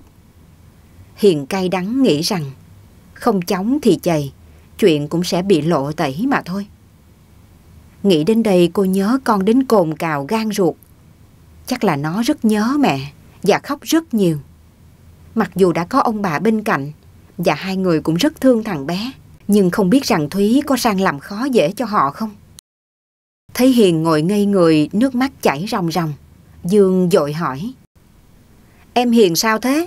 Không sợ đâu, cứ ở đây với anh Dương, Kiều sẽ không về đuổi Hiền đi nữa đâu. Những ngày tiếp theo đó, Hiền luôn nơm nớp lo sợ cô em gái của Dương về đuổi mình đi. Nhưng một ngày, hai ngày, rồi cũng không thấy Kiều quay lại nên cô vẫn cứ tạm ở lại cùng Dương. Rồi Hiền đi cắt cỏ thuê cho chủ trại bò. Mỗi bó cỏ lớn cô sẽ được ông chủ trả 10.000 đồng. Vậy là cũng tạm đủ gạo ăn cho hai người trong một ngày. Ông chủ trại bò nhìn Hiền với con mắt rất hài lòng. Mỗi lần Hiền mang cỏ đến, khi trả tiền, ông ta cố tình tấm lấy tay của Hiền rồi nói Người ở đâu mà xinh đẹp thế? Lẽ ra em phải được làm bà chủ mới đúng. Tại sao lại chấp nhận ở với thằng Dương ngu đần kia chứ? Mỗi lần như vậy Hiền lại quay lưng nhanh chóng trở về nhà của Dương. Đêm đến cô giật mình thức giấc, nghĩ lại khuôn mặt dê sồm của gã chủ trại bò. Cô không muốn bước vào nơi đó vì sợ. Nhưng nếu như vậy thì sẽ không kiếm đâu ra tiền để hai người họ sống mỗi ngày. Một hôm trời nổi giông gió như sắp đổ mưa đến nơi. Tuy bó cỏ chưa được lớn, nhưng Hiền dội vàng mang trở về trại bò. Vừa tới nơi, trời đổ mưa như trút nước. Hiền đứng nép vào cạnh chuồng bò, mà nước vẫn hắt ướt hết ống quần. Lão chủ trại bò cười thầm trong bụng. Đúng là ông trời đã tạo cơ hội cho mình. Từ ngày Hiền cắt cỏ thuê cho nhà ông, mỗi lần thấy cô, ông ta lại đưa ánh mắt dê sồm nhìn thèm thuồng nuốt nước bọt. Từ hôm ông ta đánh Dương một trận rồi cho nghỉ việc, tới bây giờ vẫn chưa tìm được người thay thế. Nên ông phải mua cỏ của những người như Hiền về cho bò ăn. Tính ra còn đắt hơn là thuê Dương đi thả bò mỗi ngày. Nhưng lão sợ Dương lại làm mất bò, hoặc xảy ra chuyện như lần trước thì cũng chết. Trời mỗi lúc một mưa to, từ phía bên kia, lão đã thấy Hiền đứng nãy giờ. Lão bước nhanh tới bên Hiền, cái miệng thâm sì cất tiếng cười rồi nói. Vào trong này cho khỏi ướt. Hiền thấy giọng cợt nhã của gã thì giật mình. Cô đáp. Bác cho cháu xin tiền cỏ để cháu về. Trời vẫn mưa mà, về làm sao được. Bỗng hắn đến cạnh Hiền rồi ghé cái mặt vào bên cô nói nhỏ. Vào trong này với anh, rồi anh trả tiền. Không, tôi đứng ngoài này thôi. Ông cho tôi xin tiền, Lát ngất mưa tôi sẽ về. Bất ngờ gã tấm tay Hiền lôi vào trong. Tuy chuồng đã được dọn sạch sẽ, nhưng vẫn hôi hám toàn mùi bò. Hiền cố giãy dụa dùng ra khỏi vòng tay thô ráp của lão. Nhưng cô càng dùng dãy, thì lão càng ôm chặt lấy cô. Rồi hắn thích thú cất tiếng thì thầm. Em đẹp lắm, chiều anh một lần thôi anh sẽ cho tiền. Một lần thôi, sẽ gấp bao nhiêu lần bó cỏ của em vất vả cả ngày đó. Nghe đến chữ tiền thì Hiền cũng rất muốn. Nhưng lòng tự trọng của cô trỗi dậy. Cô lấy hết sức đẩy gã nhưng không thể được. Và cứ thế nơi góc chuồng bò, gã đàn ông ấy đã thô bạo, cố tình chiếm đoạt cơ thể của Hiền. Cô cắn răng khóc tức tưởi. Tiếng kêu cứu của Hiền không ác nổi tiếng mưa đang xối xả ngoài kia. Hiền cay đắng bám vào bức ngăn của chuồng bò, gục xuống khóc nức nở. Gã đàn ông quàng tay ôm sau lưng cô. Sau đó dúi mặt vào tấm lưng thon hít hà, rồi thì thầm. Có mất gì đâu. Đổi lại em được một món tiền. Lần sau ngoan anh lại cho tiếp. Em sẽ không phải vất vả đi cắt cỏ nữa. Chuyện này anh không nói, em không nói. Thì không ai biết được, rõ chưa? Cơn mưa đã ngớt, nhưng chưa tạnh hẳn. Hiện đội mưa lững thững bước ra khỏi chuồng bò. Cô đi như cái xác không hồn dưới trời mưa. Về tới nhà của Dương, cô nhìn vào trong nhà ướt như ngoài sân. Cái nền đất ngầu lên như đám đất ngoài giường. Còn Dương, anh đứng sát vào một góc tường cạnh cái chum. Thấy Hiền về anh dội nói. Mưa to quá, nhà dột nên ướt hết rồi. Em đứng vào đây gần chỗ anh nè. Chỉ có một chỗ này là không dột thôi. Hiền ngước đôi mắt đỏ ngầu vì khóc, nhìn Dương. Anh ngây ngô hỏi Hiền. Em đi đầy mưa nên mắt đỏ lên rồi kìa. Anh từ từ đưa bàn tay của mình lên lau nước trên mặt cho cô. Bỗng Hiền bật khóc thành tiếng. Cô thấy mình có lỗi với Dương. Anh đã cứu cô từ cõi chết trở về. Rồi cô đã ở đây với anh gần một tháng. Nhưng chưa một lần anh làm điều gì có lỗi với cô. Gần một tháng ấy, anh nằm dưới đất để nhường cô nằm trên chiếc giường ọp ẹp. Vậy mà hôm nay cô làm chuyện có lỗi với anh rồi. Thấy Hiền khóc thành tiếng, Dương lại hỏi. Em sợ trời mưa à? Đừng khóc nữa. Chỉ một lúc nữa là trời sẽ tạnh thôi. Lúc ấy anh sẽ lau khô giường cho em nằm. Hiền vẫn đứng khóc cho người đang rét run lên vì lạnh. Thế vậy Dương lại nói. Em lấy quần áo thay ra đi. Người ướt thế kia sẽ ốm đấy. Mẹ anh bảo thế. Dương mở tấm ni lông ở miệng châm ra. Rồi thò tay vào lấy quần áo khô đưa cho Hiền. Lúc này Dương lại nói tiếp. Em đứng lên trên giường rồi thay ra đi. Anh sẽ không nhìn thấy gì đâu. Nói rồi Dương quay mặt vào tường, nhắm chặt mắt lại. Thấy thái độ ngây ngô hiền lành của Dương, bỗng Hiền bật cười cay đắng. Tại sao trên đời này người tốt như anh lại chịu cảnh khổ cực đến thế này kia chứ? Gã nuôi bò đã ăn không trắng trợn gần 2 tháng tiền công của Dương, với lý do anh để bò ăn lúa dưới bãi. Rồi hắn dùng tiền để gạ tình phụ nữ, sau đó cố tình chiếm đoạt để thỏa mãn dục vọng bỉ ổi của mình. Đúng là cuộc đời này thật bất công. Tối hôm ấy nền nhà của Dương bị nước mưa dột, làm ướt nhão nhoét. Nên đêm ấy anh không thể ngủ dưới đất. Muộn rồi anh vẫn cứ loay hoay không biết làm thế nào. Hiền nói dịu dàng. Anh lên giường ngủ đi, muộn rồi. Dương lúng túng gãi đầu. Vậy em ngủ ở đâu? Em sẽ ngủ một nửa bên trong, còn nửa ngoài phần anh. Dương nghiêm nát mặt trông đến buồn cười. Sau đó anh từ từ ngồi xuống mép giường. Như lúc ấy buồn ngủ quá, anh lấy tay che miệng ngáp mấy cái, rồi không nhìn Hiền, anh nằm xuống sát mép bên ngoài giường. Thế vậy Hiền lại nói, Anh nằm vào trong nữa đi, đêm trở mình rơi xuống đất là bẩn hết người đấy. Nhưng Dương vẫn nằm im như dán xuống mép ngoài, rồi tiếng thở đều đều cất lên. Hiền biết rằng Dương đã ngủ say, cô xoay người vào trong rồi nén tiếng thở dài. Trên người cô nhiều chỗ đau điếng bởi những vết da chạm mạnh của lão nuôi bò. Bàn tay cô nắm chặt số tiền mà gã đã đưa cho cô lúc chiều. Ngày mai, cô sẽ đi mua một miếng bạc thật to để phủ lên mái nhà. Dù sao nó cũng được một thời gian. Khi trời mưa sẽ không sợ bị dột ướt như thế này nữa. Hôm sau, Dương thấy Hiền mang gạo và thức ăn về nhà. Kèm theo một gói lớn thì anh liền hỏi. Em Hiền mua cái gì mà nhiều thế? Đây là tấm bạc. Chúng mình sẽ đem phủ lên trên mái nhà. Khi trời mưa sẽ không bị dột. Tiền đâu mà em Hiền mua bạc? Hiền ngập ngừng một lát rồi nói là tiền em cắt cỏ thuê đấy. Hiền mở tấm bạc trải ra ngoài sân. Cô nói chúng mình đem phủ tấm bạc lên trên mái nhà nhé. Dương ngẩng mặt lên nhìn mái tranh cũ nát đã ngã màu nâu đen. Hồi lâu sau anh nói Không được, nếu phủ lên trên ấy, mái nhà càng nhanh hỏng, bởi nó sẽ bị ẩm ướt quanh năm. Nó mục rồi rơi xuống thì hỏng hết. Lại còn sinh ra con rệp nó đốt mình nữa đấy. Hiền nói, vậy làm thế nào bây giờ? Suy nghĩ một lát rồi Dương trả lời. Bây giờ anh sẽ chặt tre, sau đó chẻ lạc. Mình buộc bạc ở phía dưới mái nhà. Nếu trời mưa, nước dột xuống dưới bạc sẽ chảy ra ngoài. Khi tạnh mưa trời nắng lên, mái nhà lại khô. Có vậy mà Hiền không nghĩ ra. Bây giờ cô mới hiểu Dương không hề ngu ngơ như mọi người nói. Chỉ là anh quá thật thà nghĩ sao nói vậy. Bản chất quá tốt tính, không mưu mô, lương lẹo, nên mới trở thành như vậy thôi.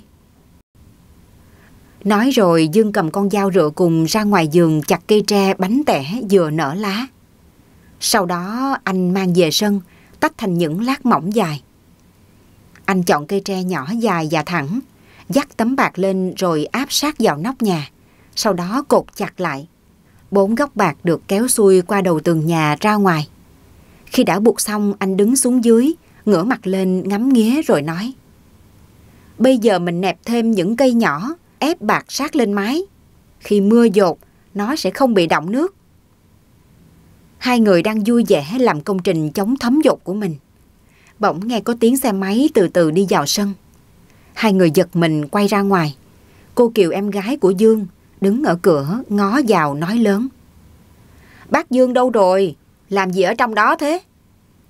Dương chạy ra tươi cười nói. Anh và Hiền đang làm mái nhà. Hôm trước mưa dột ướt hết cả giường. Kiều đưa mắt ngước nhìn tấm bạc màu xanh trên trần nhà, rồi đảo quanh tìm kiếm gì đó. Ánh mắt cô dừng lại nơi Hiền đang đứng, bỗng cô quát lên. Chị kia, sao vẫn còn ở đây? Tôi nói chị phải đi ra khỏi nhà tôi kia mà. Mặt Kiều đỏ lên, hai mắt trừng trừng như muốn xoáy vào mặt của Hiền trông rất ghê gớm. Hiền sợ hãi đứng im không dám bước ra ngoài. Kiều lại quát lớn. Chị nhìn đi, anh tôi chẳng khác nào thằng ngố. Gia tài có gian nhà bẹp, chứ có gì đâu mà chị cứ đeo bám mãi thế. Chị đi đi, nếu không tôi báo lãnh đạo thôn, tống cổ chị ra khỏi làng đấy. Nghe tới câu này, Dương dội vàng đứng chắn trước mặt của Hiền, dang rộng hai tay nói lớn. Không được, em Hiền là vợ của Dương, nên Kiều không được đuổi em ấy đi. Nghe tới câu này, Hiền bỗng giật mình, vì muốn bảo vệ cô, nên Dương đã nhận mình là vợ của anh ta. Hiền cúi đầu, những giọt nước mắt bắt đầu rơi xuống. Kiều gạt anh ta, lao tới túm lấy tay của Hiền lôi ra ngoài rồi nói. Chị khôn ngoan xinh đẹp, ra ngoài kia thiếu gì đàn ông mà chị phải bám vào anh tôi. Đừng có mơ ở đây dụ dỗ anh ấy, rồi bán giường đất của gia đình tôi mà lấy tiền nhé. Nghe vậy Hiền dội vàng xua tay. Không em ơi, chị không có ý định lừa đảo hoặc chiếm đoạt gì hết. Chỉ là chị hoàn cảnh cho nên... Nghe Hiền nói ấp úng, Dương bước dội tới bên em gái, đẩy Kiều ra và nói. Anh Dương nói rồi, Hiền là vợ của anh. Em cũng có chồng có con đấy thôi. Vậy thì anh cũng phải có vợ chứ. Những ngày Hiền ở đây cô ấy đã rất tốt với anh. Cô ấy đi cắt cỏ bò, lấy tiền mua gạo về nấu cho anh ăn. Em không được đuổi cô ấy. Em nhìn đi, Hiền mua bạc về để che mái nhà cho khỏi mưa dột đấy. Hôm qua trời mưa to nên nhà dột bẩn hết. Anh không có chỗ ngủ, em Hiền đã gọi anh lên giường nằm ngủ cùng. Kiều há mồm nhìn hai người. Rồi cô lao đến bên cạnh Hiền, đưa tay tác liên tiếp, vào mặt, vào người của Hiền, nói Mày là đồ yêu tinh quỷ quái. Mày để anh tao nằm dưới đất, rồi mày ngủ trên giường. Đồ khốn, cút khỏi đây ngay. Chắc chắn cái loại như mày sẽ có một tá đàn ông ngoài kia. Xong rồi mày tìm đến đây để lừa anh tao chiếm đoạt giường đất chứ gì. Mơ đi con ạ. Còn tao là em gái của Dương đây. Mày tuổi gì mà định đụng chạm đến tài sản của nhà tao? Bất ngờ cái khăn trên đầu của Hiền bị rơi xuống đất. Để lộ mái tóc bị cắt nham nhở nhiều chỗ. Kiều nhìn chầm chầm một lúc rồi quát lớn. Nhìn điệu bộ này chắc chắn là bị đánh ghen rồi. Nhìn mặt đâu đến nổi mà lại đi tranh chồng cướp vợ. Để bị cắt tóc như con điên thế kia. Sao người ta không cạo trọc bôi vô cho chừa cái thói lăng loàn. Vậy mà còn dám ở đây múa rìu qua mắt thợ. Hiền ôm đầu đứng lùi lại. Những ngón tay của Kiều hằn sâu trên má của Hiền từng dệt đỏ. Không phải đây là lần đầu tiên Hiền bị đánh. Cũng là trận đòn nhục nhã. Nhưng lần này quan uổng cho cô thực sự. Cô nào biết gì về tài sản đất đai nhà cửa Dương đâu. Mà tính đến chuyện lừa đảo chiếm đoạt. Cô chỉ mong cuộc sống yên ổn. Có bát cơm nuôi sống qua ngày đoạn tháng là đã ổn lắm rồi. Thấy em gái đánh Hiền, Dương nói to. Kiều không được đánh em Hiền nữa. Nếu không anh sẽ đánh em đấy. Kiều trợn mắt nhìn anh trai. Từ nhỏ đến lớn chưa bao giờ anh ấy dám nặng lời với mình. Chứ đừng nói gì đến một cái tác. Hôm nay vì con đàn bà xa lạ kia mà anh ấy dám đe đánh mình. Nghe tới câu này Kiều càng bốc điên lên. Cô quát to. Cái đồ đầu đất kia, có giỏi thì đánh đi. Còn mày nữa, mày đã làm gì mà khiến anh tao trở thành người như thế này? Từ xưa tới giờ, mọi chuyện anh ấy đều nghe tao răm rắp. Vậy mà bây giờ anh ấy dám đánh tao trước mặt mày. Nội nhật ngày hôm nay, nếu mày không cuốn gói khỏi đây, tao sẽ báo công an bắt mày vì tội ở trái phép, mưu mô lừa đảo, người thần kinh không bình thường. Nói rồi Kiều quay xe phóng đi. Dương quay lại cầm tay của Hiền rồi nói nhỏ. Em Hiền đừng sợ, có anh Dương bảo vệ em rồi. Từ nay anh không cho phép ai động đến vợ Hiền của anh. Phần gì xúc động câu nói của Dương, phần gì cảm thấy cực thân quá đổi. Nên Hiền bật khóc nức nở. Dương đưa tay lau nước mắt cho Hiền, khuôn mặt tỏ vẻ đau đớn xót xa vô cùng. Chắc là trong lòng anh rất thương cô nên mới như vậy. Bỗng Hiền quàng tay ôm chậm lấy người Dương rồi nói trong giọng nghẹn ngào. Em cảm ơn anh Dương nhé. Cảm ơn anh vì đã luôn tin và bảo vệ em. Suốt đời này em không lấy gì để đền đáp ơn của anh được. Tuy không hiểu ngọn ngành những câu nói độc địa của em gái, nhưng Dương cũng lờ mờ biết được rằng chắc chắn ở nơi Hiền có chuyện gì đó đã xảy ra. Nhưng anh không muốn gặn hỏi cô, chỉ biết ở trong lòng anh thương cô vô cùng. Dương nghĩ những điều mà người khác không muốn nói ra là họ đang muốn giấu kín. Mình không nên cố tìm hiểu mà làm gì. Chỉ cần họ không lừa dối và làm hại mình là được. Những ngày tiếp theo đó, dù không muốn nhưng hàng ngày Hiền vẫn phải đi cắt cỏ thuê cho lão chủ trại bò để kiếm tiền. Lão Chí mỗi lần nhìn thấy Hiền thì lại hấp háy đôi mắt. Cái miệng lại mấp máy nuốt nước bọt. Mỗi một bó cỏ lão trả tiền cho Hiền gấp đôi gấp ba lần trước. Nhưng không hề bắt ép cô làm việc gì theo ý lão. Hiền ngạc nhiên nhưng lại nghĩ chắc lão tăng giá vì sợ cô không mang cỏ tới nữa. Cho tới một ngày, Hiền lại bị lão gài bẫy và chuyện lớn đã xảy ra. Hôm ấy lão Chí nói với Hiền Ngày mai không phải đi cắt cỏ nữa nhé. Ô tô chở rơm đổ vào bãi. Sau đó em tới đây, rủ ra phơi, rồi dùng gậy dở cho khô. Buổi trưa phải ở lại canh chừng trời mưa. Cho nên đem cái gì đi mà ăn. Chiều tối gãy rơm gọn vào từng đống một. Cuối ngày anh sẽ trả 100 ngàn. Số tiền 100 ngàn so với Hiền lúc này rất lớn. Cô mừng rỡ về kể chuyện cho Dương nghe. Anh liền nói. Để mai anh Dương đến làm cùng với em. Một mình em làm vất vả lắm. Trước đây anh đã từng phơi rơm cho ông Chí nên biết rồi. Nhưng Hiền không đồng ý vì cô sợ ông chủ nhìn thấy Dương sẽ lại nổi cơn điên mà đánh đập anh. Sáng sớm hôm ấy, Hiền tới trại bò và bắt đầu vũ rơm ra khắp khu bãi để phơi. Nắng bắt đầu lên, lớp rơm bên trên khô lại. Cô lấy gậy dở lên cho khô đều lớp bên dưới. Cứ như vậy cô làm hết lượt thì quay làm lại là vừa.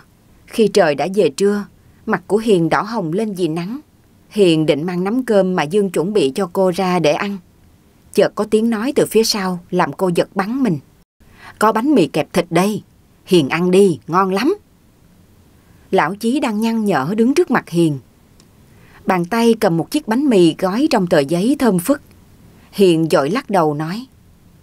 Cảm ơn bác, cháu có cơm rồi đây ạ. Lão Chí ngồi xuống cạnh Hiền rồi đưa cái bánh mì vào tận tay cô. Ăn đi đừng ngại, rồi vào kia mà nghỉ một lúc. Để ý đàn bò nha, tôi phải về nhà có việc. Nói rồi lão bỏ đi. Hiền quay ra nhìn lão đi mất hút sau hàng cây bạch đàn. Cô cầm chiếc bánh mì lên, dị giác bắt đầu hoạt động. Nước bọt tứa ra, làm Hiền không cưỡng nổi. Cô cắn một miếng bánh mì béo ngậy có kẹp thịt bên trong. Vị hơi cay và mùi thơm của thịt tan trong miệng. Lâu lắm rồi cô mới lại được nếm miếng bánh ngon như vậy. Nhưng Hiền chỉ bẻ một miếng nhỏ. Còn lại cô định rằng tối nay mang về nhà cho Dương. Sau đó cô ăn hết nắm cơm đã nguội với muối vừng. Chai nước đem theo đã cạn một nửa. Hiền uống một hơi, rồi tìm chỗ để nghỉ trưa. Cô nhìn vào trong láng không thấy ai. Lão Chí đã về rồi. Vậy thì cô vào trong này ngã lưng một lát. Cả buổi sáng làm ngoài trời nắng mệt lắm rồi. Hiền đang thiêu thiêu nhắm mắt thì nghe tiếng rào rào phía bên ngoài.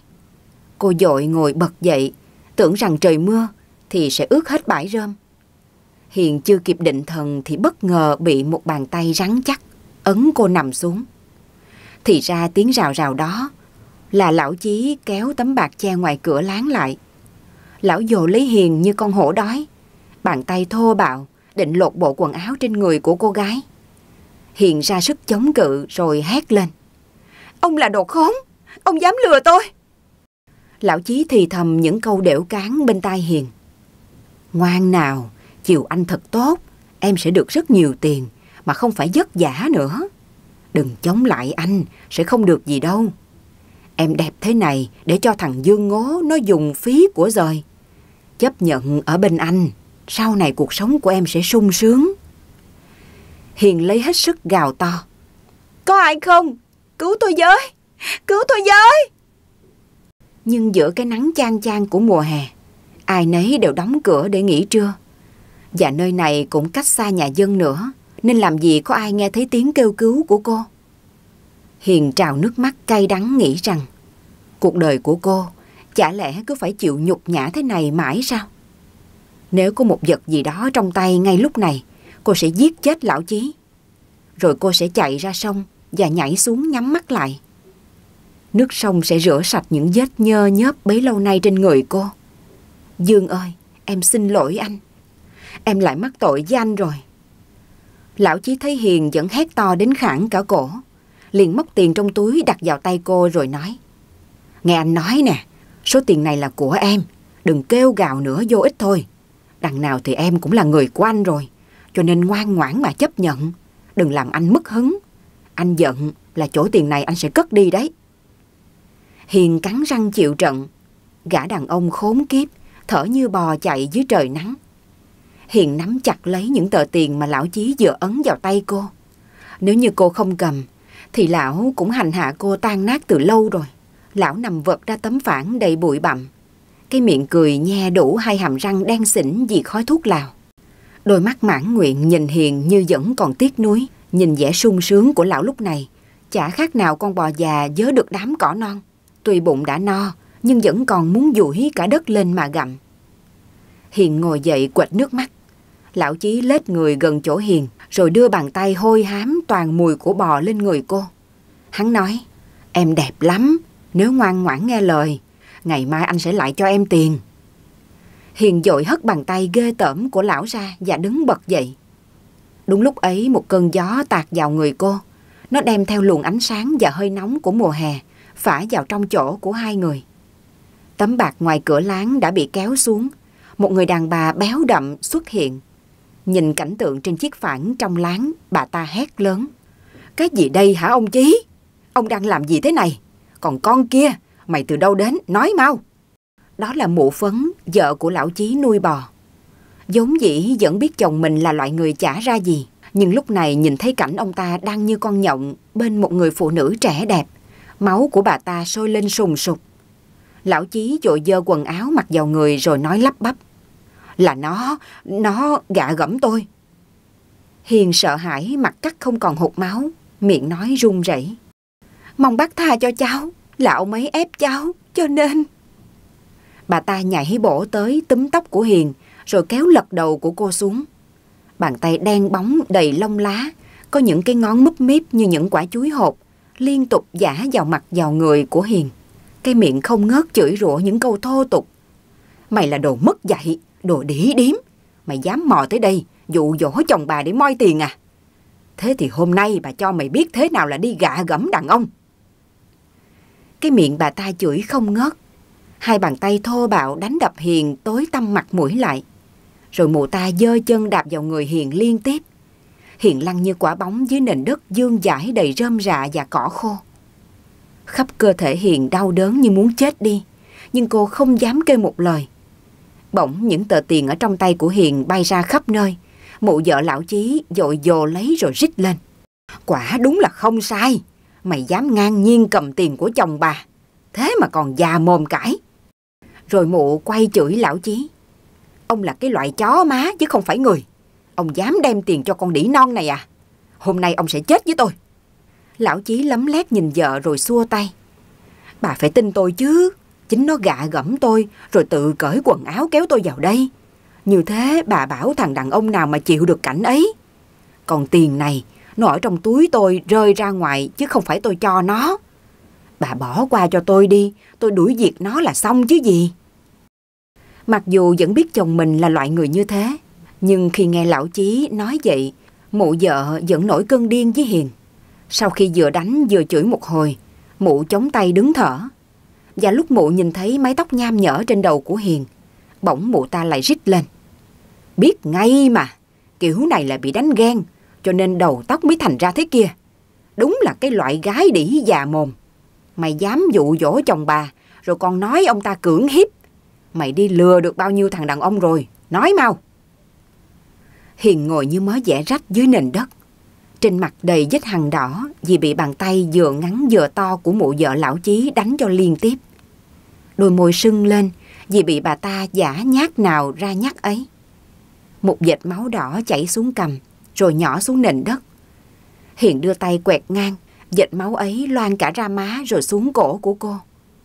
Thân thể của Hiền lúc này tơi tả, không khác gì cái cây gặp bão. Chiếc áo mặc trên người bị xé ra làm nhiều mảnh, chân tay lấm lem, mặt mũi ngoan đầy nước mắt và máu. Mụ đàn bà nghiến răng ken két quát lớn. Cút khỏi đây rồi đi chết ở đâu thì chết, chứ đừng ngồi mà ăn dạ là không xong với bà đâu. Lão Chí nhìn Hiền rồi lại liếc nhìn vợ mình. Khi bắt gặp mắt của mụ ta, hầm hầm như sư tử cái, thì liền cúi xuống và quay đi. Hiền lồm cồm cố gượng bò dậy, rồi lấy tay kéo những mảnh áo đã bị rách che người mình lại. Nước mắt cay đắng chảy liên tục xuống dưới, lẫn vào dịch máu dưới cằm. Cô tập tễnh bước ra ngoài, giữa trời nắng chang chang. Bây giờ cô không biết nên đi đâu. Giá như lúc nãy mụ ta siết cổ cho cô ngủ luôn thì tốt biết mấy. Cô sẽ không biết nhục là gì nữa. Cô sẽ không nhìn thấy cuộc đời này còn tàn nhẫn với cô đến đâu. Nhưng cô chợt nghĩ đến Dương. Nếu cô ra đi thì chắc chắn anh sẽ rất đau lòng. Nhưng nếu cô về bên cạnh anh trong bộ dạng này, cô biết nói sao với Dương.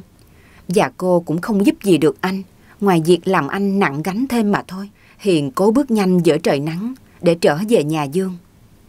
Ngoài đồng đã lác đác người đi làm, họ nhìn Hiền với con mắt tò mò. Cũng không khó để họ đoán được rằng chắc chắn cô đã xảy ra chuyện với vợ chồng lão Chí. Họ biết chuyện vợ chồng lão đánh nhau vì ghen cũng xảy ra quá nhiều lần rồi. Về tới nhà không thấy Dương đâu. Cô dội vàng lấy quần áo thay và rửa sạch vết máu trên người. Lúc sau Dương từ ngoài giường vào. Dù Hiền cố gắng đến thế nào, Dương vẫn nhận ra khuôn mặt thâm tím và sưng húp của Hiền. Anh hốt quảng thốt lên. Em Hiền bị sao thế? Là ai đã đánh em? Lúc này không thể kìm được nữa. Nỗi cay đắng ức trong người lại trào lên. Hiền cực thân khóc nức nở. Bỗng mặt Dương đanh lại, anh nói. Chắc ông Chí lại đánh em phải không? Lần trước anh đến phơi rơm cho nhà ông ấy. Vì trời mưa, một mình anh chạy không kịp, ướt hết cả mấy xe rơm, nên ông cũng đánh anh đau lắm. Tiền ông cũng chẳng trả anh. Nhưng hôm nay trời nắng mà, tại sao ông ấy đánh em được? Nghe tới đây Hiền càng thấy lão Chí thật ghê tởm. Trên đời này còn có người nào độc ác như lão Chí nữa không? Ông ta bóc lột sức lao động của người nghèo, rồi mang tiền đó đi cho gái để thỏa mãn dục vọng đê hèn. Lão ta là loại cầm thú chứ không phải người. Dương và Hiền đang nói chuyện trong nhà. Họ nghe tiếng xe máy từ từ vào sân. Hình như đã quá quen với tiếng xe nên Dương nói. Là xe của em Kiều. Đúng là Kiều về thật. Nhưng lần này cô không đi một mình mà có hai người, một nam một nữ đi một xe nữa tới. Kiều không để ý xem anh trai mình có nhà hay không. Cô ta dẫn hai người đó đi thăm hết lượt khu giường. Dương đi ra ngoài nhìn theo không biết họ đang nói chuyện gì, nhưng vẻ mặt cả ba người có vẻ quan trọng lắm. Hiền sợ hãi, Kiều mà biết chuyện mình với ông Chí, thì cô ta sẽ đuổi mình khỏi nơi này, nên cứ ngồi im trong nhà. Khi ba người họ về tới sân, Hiền nghe thấy tiếng Kiều nói. Chỗ này mà anh chị xây mấy dãy nhà trọ thì ok lắm. Đất giường nhà em rộng nhất xóm đấy. Địa thế thuận tiện cho công nhân tới công ty làm việc, nên giá trọ chắc chắn sẽ cao. Anh chị về suy nghĩ đi, rồi gọi em sau nhé. Hiền nghe thấy Kiều nói vậy thì lờ mờ hiểu rằng cô ta định bán đất để người ta xây nhà trọ cho công nhân thuê. Bởi vì sắp tới đây khu công nghiệp sẽ được xây dựng lên, thu hút rất đông công nhân tới làm việc. Khi hai người kia ra về rồi, Kiều quay lại nhìn anh trai rồi nói, tới đây, em sẽ bán hết giường đất đi, chỉ để lại một chỗ, rồi em sẽ xây cho anh gian nhà nhỏ chắc chắn để ở. Kiều chưa kịp nói hết câu, Dương lên tiếng. Anh không bán đâu, anh cũng không ở nhà xây. Anh ở nhà này quen rồi, bây giờ trời mưa, cũng không bị dột nữa. Kiều dịu giọng nói. Ngoan nào, anh phải nghe em. Anh nhìn đi, cả cái làng này còn ai ở nhà đất như anh nữa không? Bảo gió nó mà quật đổ thì anh ở đâu? Bây giờ người ta cần không bán, ít nữa có gà người ta cũng chả mua. Nói rồi Kiều lên xe nổ máy phóng dù đi. Vì mãi nghĩ đến tiền nên cô không để ý xem Hiền còn ở đây hay không. Lúc bây giờ Hiền mới bước ra ngoài rồi hỏi. Hai anh em anh Dương có chuyện gì thế? Là em Kiều. Em Kiều muốn bán giường của bố mẹ đi lấy tiền xây nhà cho anh. Nhưng anh không muốn. Vì bán đi thì không còn đất để trồng rau. Hiền chợt hiểu ra vì sao mà giờ nãy Kiều lại dịu dàng với anh trai mình đến vậy. Chứ như mọi lần anh cãi một câu là sẽ bị Kiều bật lại không thương tiếc. Bởi vì nếu muốn bán đất thì anh cũng phải ký vào giấy tờ thì mới bán được. Hiền thấy giận cô em gái thay cho Dương. Nhưng cô lại chợt nghĩ đây là việc của nhà người ta. Mình chỉ là người ngoài thôi có quyền gì chứ. Nhưng cô cảm thấy thương Dương vô cùng. Cô em gái cùng cha cùng mẹ với anh mà không hề biết thương anh ruột của mình.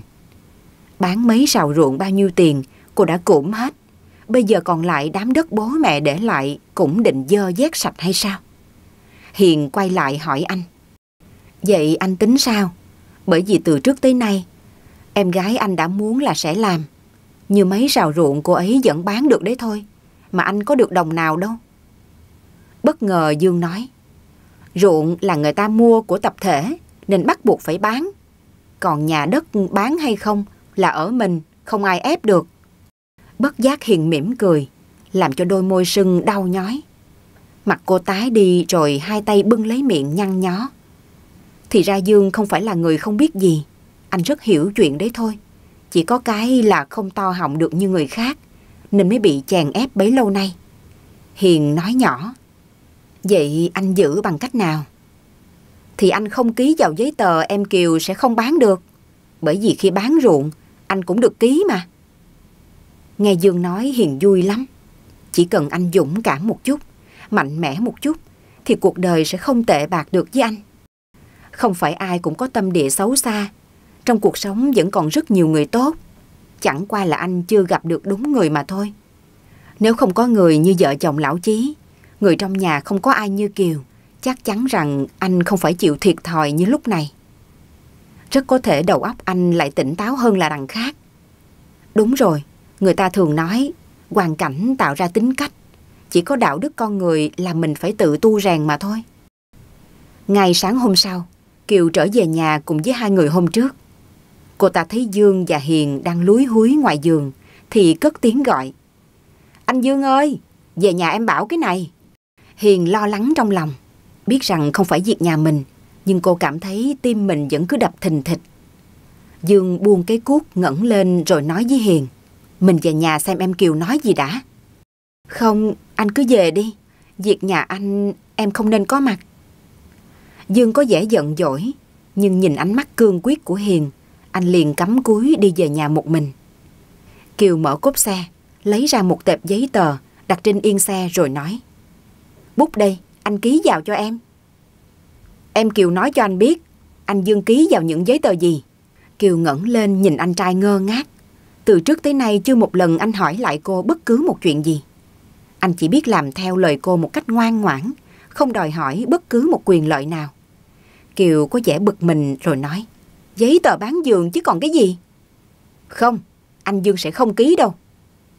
Mặt Kiều đanh lại, hai mắt trợn trừng nhìn anh trai, như muốn ăn tươi nuốt sống ngay lập tức.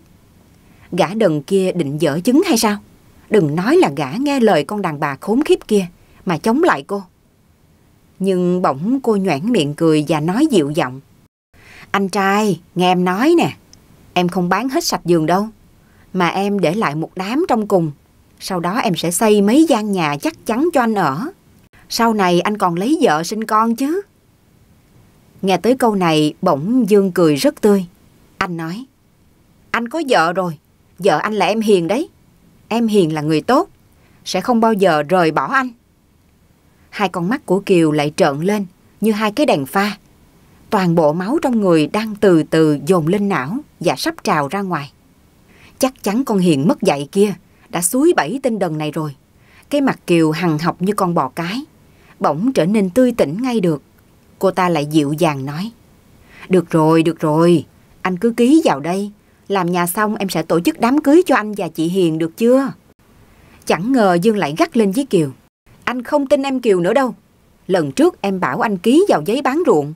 Nói khi nào người ta trả tiền sẽ cho anh mấy chục triệu sửa mái nhà.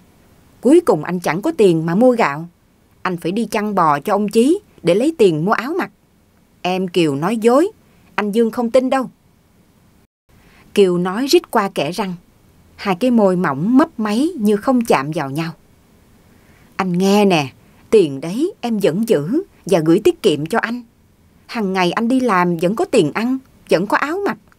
Nếu em không giữ, sau này anh lấy vợ thì tiền đâu mà lo.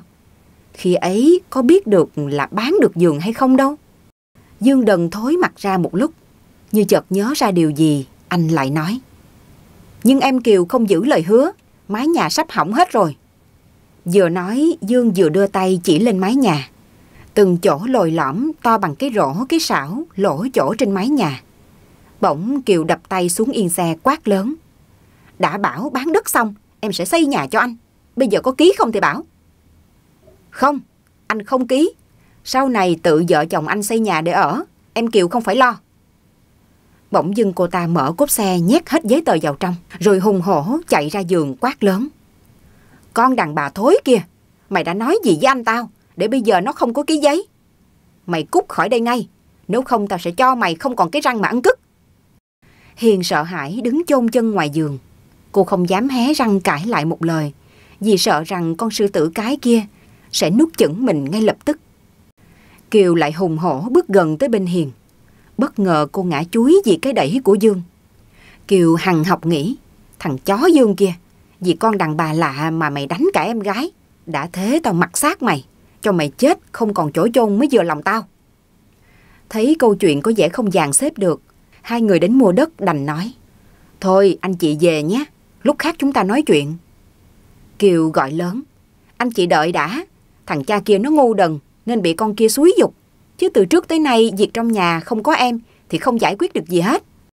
Hai người kia đã lên xe và nổ máy đi mất. Kiều nhìn Hiền với con mắt diều hâu. Cô ta biết rằng không làm gì được Hiền vì đã có Dương bảo vệ. Kiều hậm hực muốn bầm đôi trai gái kia ra hàng trăm mảnh mới hả dạ. Đợi mấy người họ đi rồi, nắm lấy tay Hiền rồi nói. Em Hiền này, em phải giúp anh một việc. Hiền ngơ ngác hỏi lại. Em thì giúp gì được anh đây? Được chứ, anh rất thương em Hiền. Vậy em Hiền có thương anh Dương không? Nếu có, thì em cùng anh ra quỹ ban đăng ký kết hôn. Rồi cùng giữ nhà giữ đất với anh. Hiền xúc động nước mắt lại trào ra giàn dụa. Đây là câu nói rất thật lòng của anh. Đúng là anh yêu thương Hiền thật. Chẳng qua là anh không biết nói những lời yêu thương ngọt ngào như bao người khác thôi. Hôm ấy Hiền vừa khóc, vừa kể hết câu chuyện cuộc đời của mình cho Dương nghe. Bỗng Dương thốt lên. Thương em hiền quá, em còn khổ hơn cả anh nữa kìa. Hai mảnh đời đau khổ gặp nhau. Họ kể cho nhau nghe những chuỗi ngày cùng cực đau đớn của đời mình. Rồi hai trái tim ấy đồng cảm với những bất hạnh của đối phương. Dần dần họ trở nên thấu hiểu và càng thương nhau hơn. Cuối cùng Dương nói Hôm nay chúng mình sẽ về nhà em Hiền Nói chuyện với bố mẹ rồi đón cả cu hậu về đây anh sẽ là ba Dương của bé Hậu anh sẽ cố gắng làm việc thật tốt để nuôi con của chúng ta nên người. Dương chỉ tay ra khu vườn rộng mênh mông của bố mẹ mình để lại rồi nói. Anh sẽ bán đi một nửa giường lấy tiền xây nhà và mua mỗi người một cái xe đạp. Còn lại sẽ để dành tiền nuôi con. Bao giờ khu công nghiệp xây dựng xong, em sẽ xin vào đó làm công nhân. Anh ở nhà chở bé Hậu đi học rồi nấu cơm đợi em Hiền về ăn. Nói rồi Dương cầm tay của Hiền kéo cô vào trong nhà. Anh đứng lên chiếc giường gỗ ọp ẹp, đi tới sát mép tường nhà. Hiền chăm chú nhìn theo không biết Dương định làm gì. Anh tiến tới bên cây tre đón nước sát mép tường, thò tay vào trong và lôi ra một cái gói nhỏ màu đen. Sau đó ngồi xuống và hỏi. Anh Dương đố em Hiền biết đây là cái gì? Hiền lắc đầu nói không biết, Dương ngồi xuống bắt đầu cởi bỏ từng lớp vải cũ màu đen. Hiền nhìn hình như đó là chiếc ống quần rất cũ của phụ nữ ngày xưa thì phải. Sau rất nhiều lớp bao bọc rất kỹ, cuối cùng là một miếng ni lông đã ngã màu, được buộc rất chặt bằng những sợi chỉ. Hiền hồi hộp chăm chú nhìn theo bàn tay cẩn thận của Dương. Một lát sau chiếc nhẫn màu vàng chói lộ ra. Dương thì thầm. Vàng đấy, đây là chiếc nhẫn mẹ để lại cho anh trước khi mất. Anh giấu thật kỹ trong này. Em Kiều hỏi anh mấy lần rồi đấy nhưng anh không nói. Thì ra là vậy, Hiền xúc động nước mắt cứ thế rơi ướt giặt áo. Tại sao những lúc không có nổi bát cháo Mà anh vẫn giữ chỉ vàng đến lúc này. Anh kể rằng ngày đó mẹ anh bán đàn lợn. Bà định rằng mua mấy viên ngói thay vào cái mái nhà dột nát. Nhưng chưa kịp làm thì bà bị ốm rất nặng. Bà đưa cho anh và dặn dò thật kỹ, không cho em Kiều biết. Làm cha, làm mẹ, chắc chắn họ sẽ biết được đứa con nào có tính nết ra sao. Bà thương thằng con trai khờ nên đã trao cho nó giữ. Dương nắm chặt bàn tay, có chỉ vàng bên trong và ngó ra ngoài. Lát sau anh nói, sáng sớm mai chúng mình sẽ đi bán lấy tiền, bắt xe về quê em. Sau đó để tiền làm đám cưới. Tại quê của Hiền, sau khi bỏ mặt chị gái nằm bất động bên vệ cỏ, Thúy quay trở ra và cứ thế đi bộ không biết lối nào để về nhà. Gần sáng cô gặp mấy người đi chợ liền hỏi lối ra đường to. Cô ta bắt xe về nhà, mặc dù trong người không có một xu. Khi lái xe hỏi tiền, cô ta nói Em bị lạc, đi lang thang mấy ngày nay nên không có tiền. Anh cho em đi nhờ xuống bến xe. Tuy bực mình, nhưng cả lái và phụ xe đều lắc đầu cho Thúy ngồi yên. Xuống bến xe, Thúy gọi xe ôm về nhà và nói chồng ra trả tiền. Phát hốt quảng hỏi. Em đi đâu cả đêm thế? Thúy không nói gì lặng lẽ bước vào trong nhà. Một lúc sau bà gấm chạy sang vừa khóc vừa nói. Các con ơi, có biết chị Hiền đi đâu không? Nó đi đâu từ tối qua đến giờ không về. Liệu nó có làm điều gì đó dại dột không? Một ngày, hai ngày, rồi năm ngày, vẫn không thấy Hiền quay trở về. Bà gấm đã hết hy vọng, nghĩ rằng Hiền gì quá nhục nhã, mà đã làm điều gì đó dại dột rồi. Bà đau khổ, nhìn thằng cháu ngoại ngây ngô còn chưa hiểu chuyện. Nó luôn miệng hỏi mẹ đâu rồi, đã mấy lần hai ông bà gửi cháu rồi lang thang hết chỗ nọ chỗ kia hỏi dò, nhưng vẫn không tìm thấy tung tích của con gái đâu. Sau khi đã hoàn toàn hết hy vọng, hai ông bà nén đau lòng mà tập trung nuôi bé Hậu. Mong rằng lớn lên, nó sẽ là niềm an ủi cuối cùng dành cho ông bà ngoại. Còn Thúy trở nên khác hẳn. Cô không nhắc gì đến chuyện giữa Phát và Hiền, nhưng cũng không thèm sang nhà bố mẹ đẻ lấy một lần. Buổi tối hôm ấy, hai ông bà cùng bé Hậu đang ngồi ăn cơm. Bỗng có hai người, một nam một nữ, xách túi bước vào. Cô gái đeo khẩu trang kín mít, tiếng cô cất lên nấc nghẹn. Bố, mẹ, Hậu ơi, mẹ đây con. Hai ông bà bật dậy buông bát đũa. Còn cu hậu cứ trố mắt nhìn mà không tỏ thái độ gì. Hiền nhào tới ôm lấy bố mẹ khóc nức nở. Bà gấm không tin vào sự thật. Bà nhìn chầm chầm vào cô gái, rồi lấy hai tay ôm ngực. Nhưng nó đúng là con gái bà đây rồi. Đúng là con hiền hư thân mất nết của bà. Bà nói nghẹn ngào. Mẹ cha nó chứ, nó làm cho mình đau đớn nhớ thương bao nhiêu ngày tháng. Cứ ngờ là nó bỏ mình mà đi rồi. Hôm nay còn nhát mặt về đây, ta phải đánh chết nó thôi. Miệng nói rồi bà ôm chặt con gái. Hình như có bao nhiêu sức lực, bà đều dồn vào cái ôm trên người nó. Miệng bà méo sệt, nói không thành câu. Bà khóc nghẹn, nước mắt cứ thế rơi không ngừng. Dương chứng kiến cảnh gia đình họ đoàn tụ, rồi mắt anh cũng đỏ hoe từ lúc nào. Bà gấm từ từ kéo cái khẩu trang trên mặt Hiền. Nhìn những vết thương trên mặt con gái, bà thốt lên. Con làm sao thế này? Vừa hỏi con gái, bà vừa ngước nhìn chàng thanh niên. Dương đứng từ nãy giờ, lúc này mới dội cúi đầu rồi lên tiếng. Con chào hai bác ạ. Con tên là Dương, có quen với em Hiền mấy tháng nay. Hiền rời tay mẹ, chạy đến ôm bé Hậu. Nhưng nó lùi lại rồi ôm chặt lấy ông ngoại.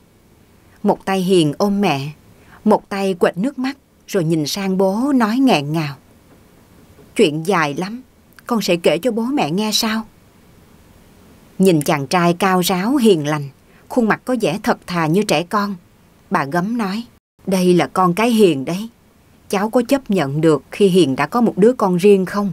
Đã suy nghĩ kỹ chưa? Hôm ấy, năm người họ ngồi với nhau đến khuya. Khi cô hậu đã ngủ say lắm rồi, bà gấm mới đưa cho Hiền bế con. Nửa năm thôi, mà bế nó đã nặng thêm bao nhiêu rồi. Nước mắt Hiền cứ thế rơi không ngừng. Cô ngẩng lên nhìn mẹ rồi nói, con cảm ơn mẹ thời gian qua đã chăm sóc cô hậu giúp con. Khi đã nghe hết chuyện của Hiền và Dương, bà gấm nói, hay là các con về đây ở đi, lỡ xảy ra tranh chấp đất đai phức tạp rồi khổ lắm. Hiền cũng nói thêm. Không mẹ ơi, con không thể ở đây được nữa. Con đi lấy chồng thì phải về nhà chồng. Anh Dương rất thương con. Nhưng anh ấy phải về để hàng năm còn cúng dỗ bố mẹ ông bà. Và con tin rằng anh ấy sẽ thương cu hậu như con đẻ của mình. Bố mẹ yên tâm mà. Thế rồi đám cưới của Dương và Hiền được tổ chức đơn giản và gọn nhẹ. Không cổ bàn linh đình, không đón rước dâu như mọi đám. Ông bà gấm làm mâm cơm cúng ông bà tổ tiên, báo cáo rằng con Hiền đã đi lấy chồng. Khi chiếc xe chở vợ chồng Hiền cùng cu hậu đi qua cổng, Thúy lặng lẽ bước ra, rồi nhìn theo sau cho tới khi họ đã khuất hẳn. Nước mắt lặng lẽ rơi xuống má cô nóng bỏng. Chị gái ơi, em mong chị thật hạnh phúc. Xin lỗi chị, bởi vì quá ghen tuông mà em đã hại chị. Nhưng cũng may, chị đã gặp được người tốt như anh Dương. Hãy tha lỗi cho em gái chị nhé. Mong rằng anh Dương sẽ là một người chồng tốt và một người cha tốt của bé Hậu. Bà Gấm đã không kể cho Hiền biết được rằng thời gian qua Thúy không một lần bước sang nhà bố mẹ đẻ. Nhưng cô vẫn mua thức ăn và sữa rồi sai cô Đạt sách sang đưa bà ngoại. Nó nói rằng thịt thì bà nấu cho cả nhà ăn, còn sữa này cho em Hậu uống. Lần nào cũng vậy, trong thức ăn đều có tiền Thúy gói rất cẩn thận vào trong túi ni lông, rồi đặt vào giữa. Bà giận con Thúy, nhưng lại thương nó vô cùng. Chắc là nó rất thương cháu, nên mới xử sự như vậy. Nhưng vì chưa chấp nhận được sự thật, nên nó không muốn gặp mặt trực tiếp thằng cháu tội nghiệp kia. Hiền đưa hậu đi rồi, còn hai ông bà trong căn nhà trống trải và bà cứ thế lặng lẽ ngồi khóc. Bà đang buồn nhớ thương con gái và cháu ngoại của mình. Suốt thời gian qua, nó đã ở bên cạnh bà. Bây giờ tuy được về ở với mẹ, bà thấy yên tâm lắm, nhưng lại nhớ nó không chịu được. Bỗng bà thấy một vòng tay nhẹ nhẹ quàng qua người mình. Một khuôn mặt ai đó khẽ dụi vào vai bà và tiếng khóc thúc thích cất lên. Mà ngoảnh lại nhìn và phát hiện ra đó chính là Thúy. Thấy mẹ nhìn mình Thúy cất giọng nói nghẹn ngào trong nước mắt. Mẹ ơi, con xin lỗi mẹ. Bố mẹ hãy tha lỗi cho con. Rồi cô bật khóc nức nở như đứa trẻ con. Hai ông bà nhìn nhau bốn mắt đỏ hoe. Nỗi buồn đã qua đi rồi. Đó là những giọt nước mắt của hạnh phúc. Sóng gió chắc là chưa qua đâu. Nhưng từ nay gia đình họ sẽ đoàn kết lại để cùng vượt qua dông bão của cuộc đời. Dương và Hiền đã chính thức trở thành vợ chồng. Cô Hậu được sống trong tình yêu thương của mẹ và ba Dương. Chắc là nó nhớ ông bà, nên luôn miệng nhắc. Chủ nhật, ba mẹ cho con về thăm ông bà ngoại nhé. Hiền ôm con vào lòng xoa cái mái đầu tròn tròn của nó. Khi nào nhà mình có xe máy, ba Dương sẽ chở mẹ con mình về thăm ông bà ngoại nhiều hơn. Bây giờ một tháng nhà mình chỉ được về nhà ngoại một lần thôi, con biết không? Kinh tế xã hội phát triển mỗi ngày, làng quê cũng dần dần được đổi mới. Ở quê của Dương, nhà máy xí nghiệp mọc lên như nấm. Cuộc sống của người dân được nâng cao rõ rệt. Hiền đi làm công nhân, còn Dương ở nhà trong nom mấy dãy nhà trọ cho công nhân thuê, Kim Diệt đưa đón con đi học. Khi Hiền sinh bé thứ hai, Dương đề nghị vợ ở nhà phụ giúp anh trong nom khu nhà trọ và bán hàng thức ăn sẵn cho công nhân. Kinh tế đầy đủ khiến con người ta có phần thay đổi. Nhìn họ khỏe khoắn, chững chạc hẳn ra, chứ không nhạy nhọ như ngày nào nữa. Vợ chồng Dương kinh doanh rất phát đạt, hai đứa con khỏe mạnh, ngoan ngoãn. Ai nhìn vào cũng thấy họ thật hạnh phúc. Cô Kiều không dám bắt nạt anh Dương, mà bây giờ làm bất cứ chuyện gì đều hỏi ý kiến anh chị bởi vì họ biết lo toan và rất chín chắn nên cô yên tâm mà đặt cả niềm tin vào họ. Lão chí già đã hết thời, không còn sức khỏe để chăn nuôi bò nữa. Thỉnh thoảng mụ phấn lại lò mò ra quán của Hiền để mua đồ ăn. Những lần ấy, mụ cúi gầm mặt không dám nhìn thẳng vào mắt của Hiền. Và hình như lần nào khi bán cho mụ ta, Hiền cũng cho nhiều thức ăn hơn người khác thì phải. Vì nhìn mụ đi tập tỉnh đến tội nghiệp bởi căn bệnh gút sưng hết cả chân tay. Dân làng nói chắc vợ chồng lão ăn nhiều thịt bò quá nên mới như vậy. Hôm nay ngày lễ, công nhân được nghỉ 4 ngày liền. Dãy nhà trọ vắng teo vì công nhân về quê nghỉ ngày lễ. Cả gia đình Dương cũng bắt đầu xách đồ lên xe để về quê ngoại. Dương và Phát đã hẹn nhau rồi. Hôm nay cả gia đình họ sẽ quây quần làm một bữa thật vui. Suốt dọc đường đi, hai đứa con liếu lo nói chuyện không ngớt. Bất giác Hiền mỉm cười. Cuộc đời này vốn dĩ vẫn rất đẹp. Chỉ cần chúng ta yêu thương và thấu hiểu, và hãy biết nhận sai và tha thứ, thì cuộc sống chắc chắn sẽ dễ thở hơn nhiều.